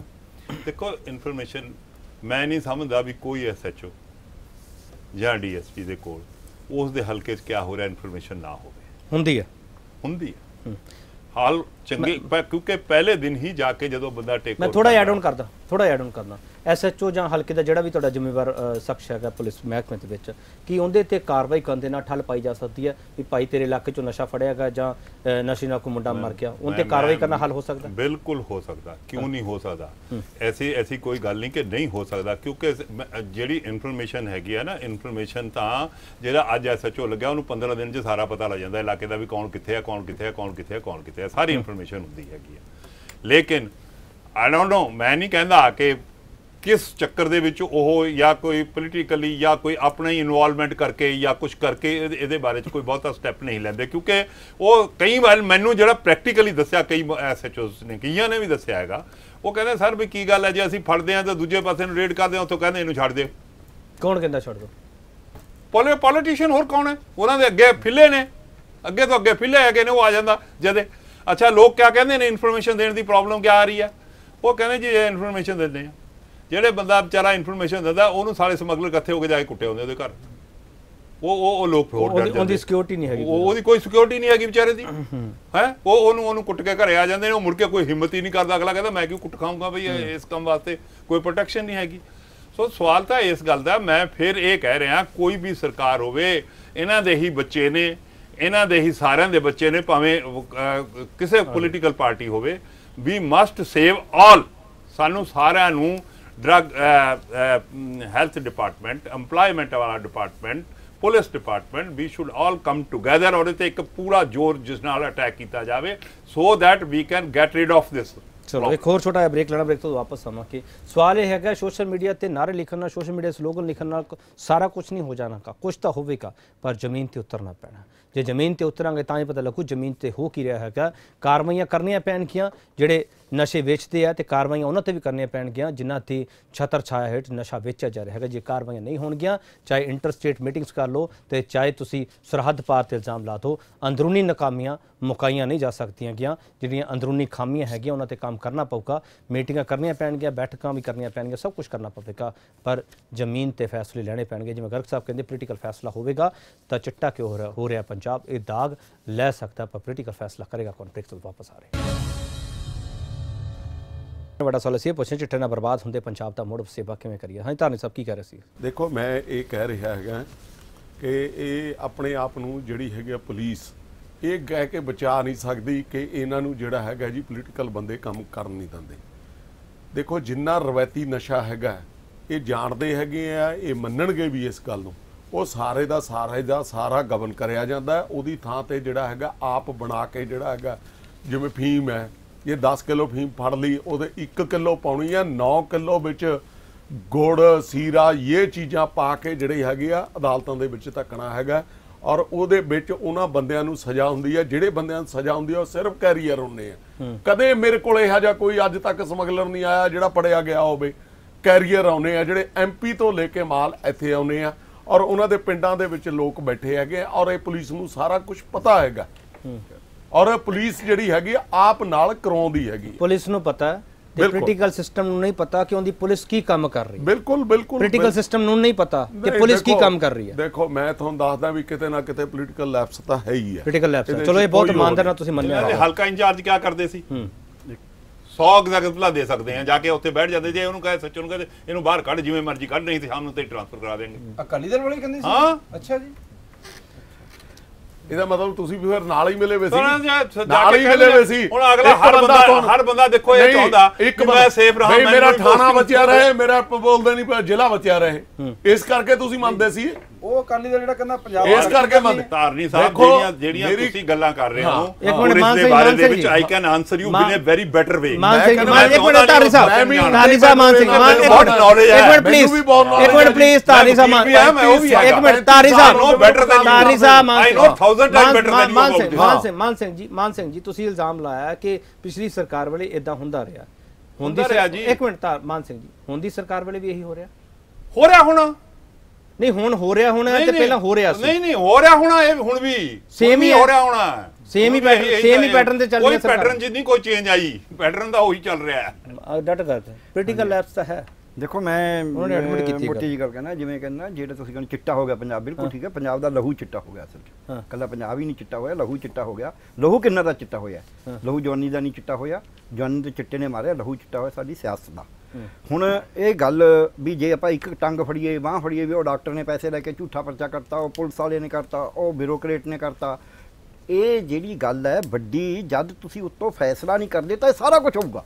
ਕੱਲਾ ਕੱਲਾ ਕੇਸ ਲਓਗੇ ਤੁਹਾਨੂੰ ਡੈਫਸ ਪੁਲਿਸ ਦੇ ਵੀ ਡਾਕਟਰਾਂ ਦੇ ਵੀ ਡਰੱਗ ਇੰਸਪੈਕਟਰਾਂ ਦੇ ਵੀ ਐਡਮਿਨਿਸਟ੍ਰੇਟਰ ਵੀ ਹਜ਼ਾਰਾਂ ਹੀ ਮਿਲ ਜਾਣਗੇ ਇੱਕ ਨਹੀਂ ਹਜ਼ਾਰਾਂ ਹੀ। ਉਹ ਵਿੱਚ ਇਨਵੋਲਵ ਵੀ ਹੋਣਗੇ 'ਚ ਕੋਈ ਦੋ ਰਾਵਾ ਨਹੀਂ। ਉਹਦੇ ਵਿੱਚ ਲੋਕਲ ਜਿਹੜੇ ਵੇਚਣ ਵਾਲੇ ਨੇ ਉਹ ਸਾਰਾ ਕੁਝ ਇਨਵੋਲਵਡ ਹੈ। ਪਰ ਜਦ ਇੱਕ ਵਾਰੀ ਪੋਲੀਟੀਕਲ ਫੈਸਲਾ ਹੁੰਦਾ ਹੈ ਉਦੋਂ ਫੇਰ ਇਹਨਾਂ ਸਾਰਿਆਂ ਨੂੰ ਪਤਾ ਲੱਗ ਜਾਂਦਾ ਹੈ ਜਿਹੜੀ ਤੁਸੀਂ ਕਿਹਾ ਸਜ਼ਾ ਦੀ ਗੱਲ ਸਜ਼ਾ ਤਾਂ ਤਾਂ ਦੇਣੀ ਨਾ ਪਹਿਲਾਂ ਪੋਲਿਟਿਕਸ ਇਹ ਫੈਸਲਾ ਕਰੇ ਵੀ ਆਪਾਂ ਇਹ ਹੋਣ ਨਹੀਂ ਦੇਣਾ ਜਦ ਇਹ ਫੈਸਲਾ ਕਰਦੇ ਹੋਣ ਨਹੀਂ ਦੇਣਾ ਫਿਰ ਕਿੰਨਾ ਪੰਜ ਬੰਦੇ ਮਿਲ ਜਾਣਗੇ ਜਿਨ੍ਹਾਂ ਨੂੰ ਸਜ਼ਾ ਦੇਣੀ ਪਊਗੀ ਹੁਣ ਤੁਸੀਂ ਸਾਰੇ ਦੇ ਸਾਰੇ ਐਸਐਚਓ ਨੂੰ ਸਜ਼ਾ ਕਿਵੇਂ ਦੇ ਦੋਗੇ ਤੁਸੀਂ ਸਾਰੇ ਆਪਣਾ 67000 ਅ, 68000 ਪੁਲਿਸ ਫੈਸਲਾ ਲੈ ਕੇ ਦੋਗੇ। ਕਰਨਾ ਪਊਗਾ। ਸੋ ਨਹੀਂ ਪਹਿਲਾਂ ਫੈਸਲਾ ਲੈ ਕੇ ਇਹਨੂੰ ਰੋਕੋ।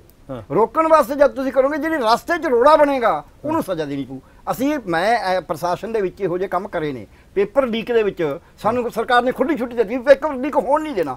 ਜਦ ਉਹਨੇ ਪੋਲੀਟੀਕਲ ਫੈਸਲਾ ਕਰ ਲਿਆ ਸਰਕਾਰ ਨੇ ਫੇਰ ਕਿਹੜਾ ਮਾਈਸ ਦਾ ਲਾਲ ਲੀਕ ਕਰ ਜੂਗਾ? ਜਿਹੜੇ ਪੰਜ ਦਿਨ ਕਰੇ ਵਿੱਚ ਪੁਲਿਸ ਵਾਲਾ ਵੀ ਰਗੜੇਗਾ ਸੀ ਇਹੀ ਮੈਂ। ਪੁਰਤਗਾਲ ਦੀ ਗੱਲ ਕੀਤੀ ਸੀ ਪੁਰਤਗਾਲ। ਵਿੱਚ ਇਹੋ ਜਿਹੇ ਫੈਸਲੇ ਕੀਤੇ ਗਏ ਸੀ ਮੈਂ ਕਹਿੰਦਾ ਦੋਨੇ ਤਰ੍ਹਾਂ ਦੇ ਕਰੇ ਨੇ। ਉੱਥੇ ਨਾਲੇ ਖੁੱਲ੍ਹ ਵੀ ਦਿੱਤੀ ਗਈ ਸੀਗੀ। ਉੱਥੇ ਦੋਨੇ ਤਰ੍ਹਾਂ ਦੇ ਕਰੇ ਨੇ ਇੱਕ ਤਾਂ ਜਿਹੜੇ ਨਸ਼ੇੜੀ ਸੀਗੇ।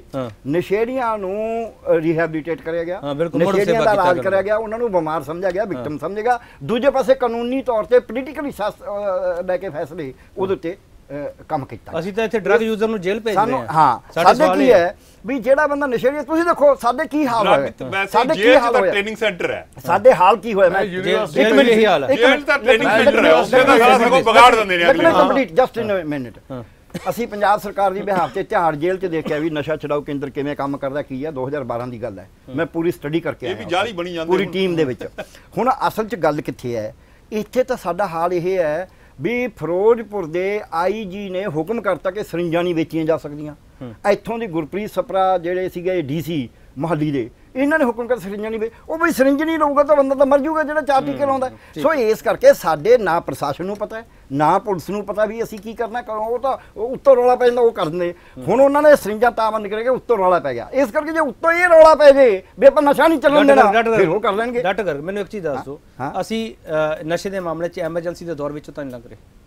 ਐਮਰਜੈਂਸੀ ਤੋਂ ਵੀ ਵੱਡੀ ਗੱਲ ਹੈ ਐਮਰਜੈਂਸੀ ਤੋਂ ਫਿਰ ਬਚ ਸਕਦੇ ਹਾਂ। ਇਹ ਬਹੁਤ ਬਿਮਾਰੀ ਰੋੜੀ ਹੈ। ਸਾਹਿਬ ਰੋੜੀ ਸਾਹਿਬ।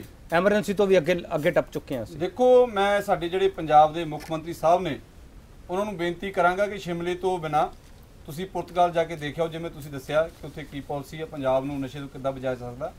ਔਰ ਧਾਰਨੀ ਸਾਹਿਬ ਨੇ ਕਿਹਾ ਕਿ ਜਿਹੜਾ ਕਾਨੂੰਨ ਹੈ ਉਹ ਬੜਾ ਮਾੜਾ ਕਿ ਜਿਹੜਾ ਨਸ਼ੇ ਵਾਲਾ ਬੰਦਾ ਫੜ ਹੁੰਦਾ ਉਹ ਬਾਅਦ ਛੱਡ ਹੋ ਜਾਂਦਾ। ਧਾਰਨੀ ਸਾਹਿਬ ਤੁਹਾਡੀ 10 ਸਾਲ ਸਰਕਾਰ ਰਹੀ ਹੈ। ਪੰਜਾਬ ਦੀ ਵਿਧਾਨ ਸਭਾ ਵਿੱਚ ਕਾਨੂੰਨ ਬਣਦਾ ਹੈ। ਤੁਸੀਂ ਕਿਉਂ ਨਹੀਂ ਕਾਨੂੰਨ ਬਣਾਇਆ ਹੋਇਆ ਜਾਂ ਮੈਂ ਠੀਕ ਹੈ। ਬਿਲਕੁਲ ਤੁਸੀਂ ਵਕੀਲ ਹੋ ਦੱਸੋ ਕਿਉਂ ਮੈਂ ਮੈਂ ਦੱਸਦਾ? ਜਦ ਜਦ ਬਾੜੇ? ਖੇਤ ਨੂੰ ਮੈਂ ਫੜਿਆ ਸੀ ਸੁਖਪਾਲ ਸਿੰਘ ਖਹਿਰਾ ਇੱਕ ਮਿੰਟ, ਵਿੱਚ ਇਹਨਾਂ ਨੂੰ ਗੱਲ ਪੂਰੀ ਦਿਓ।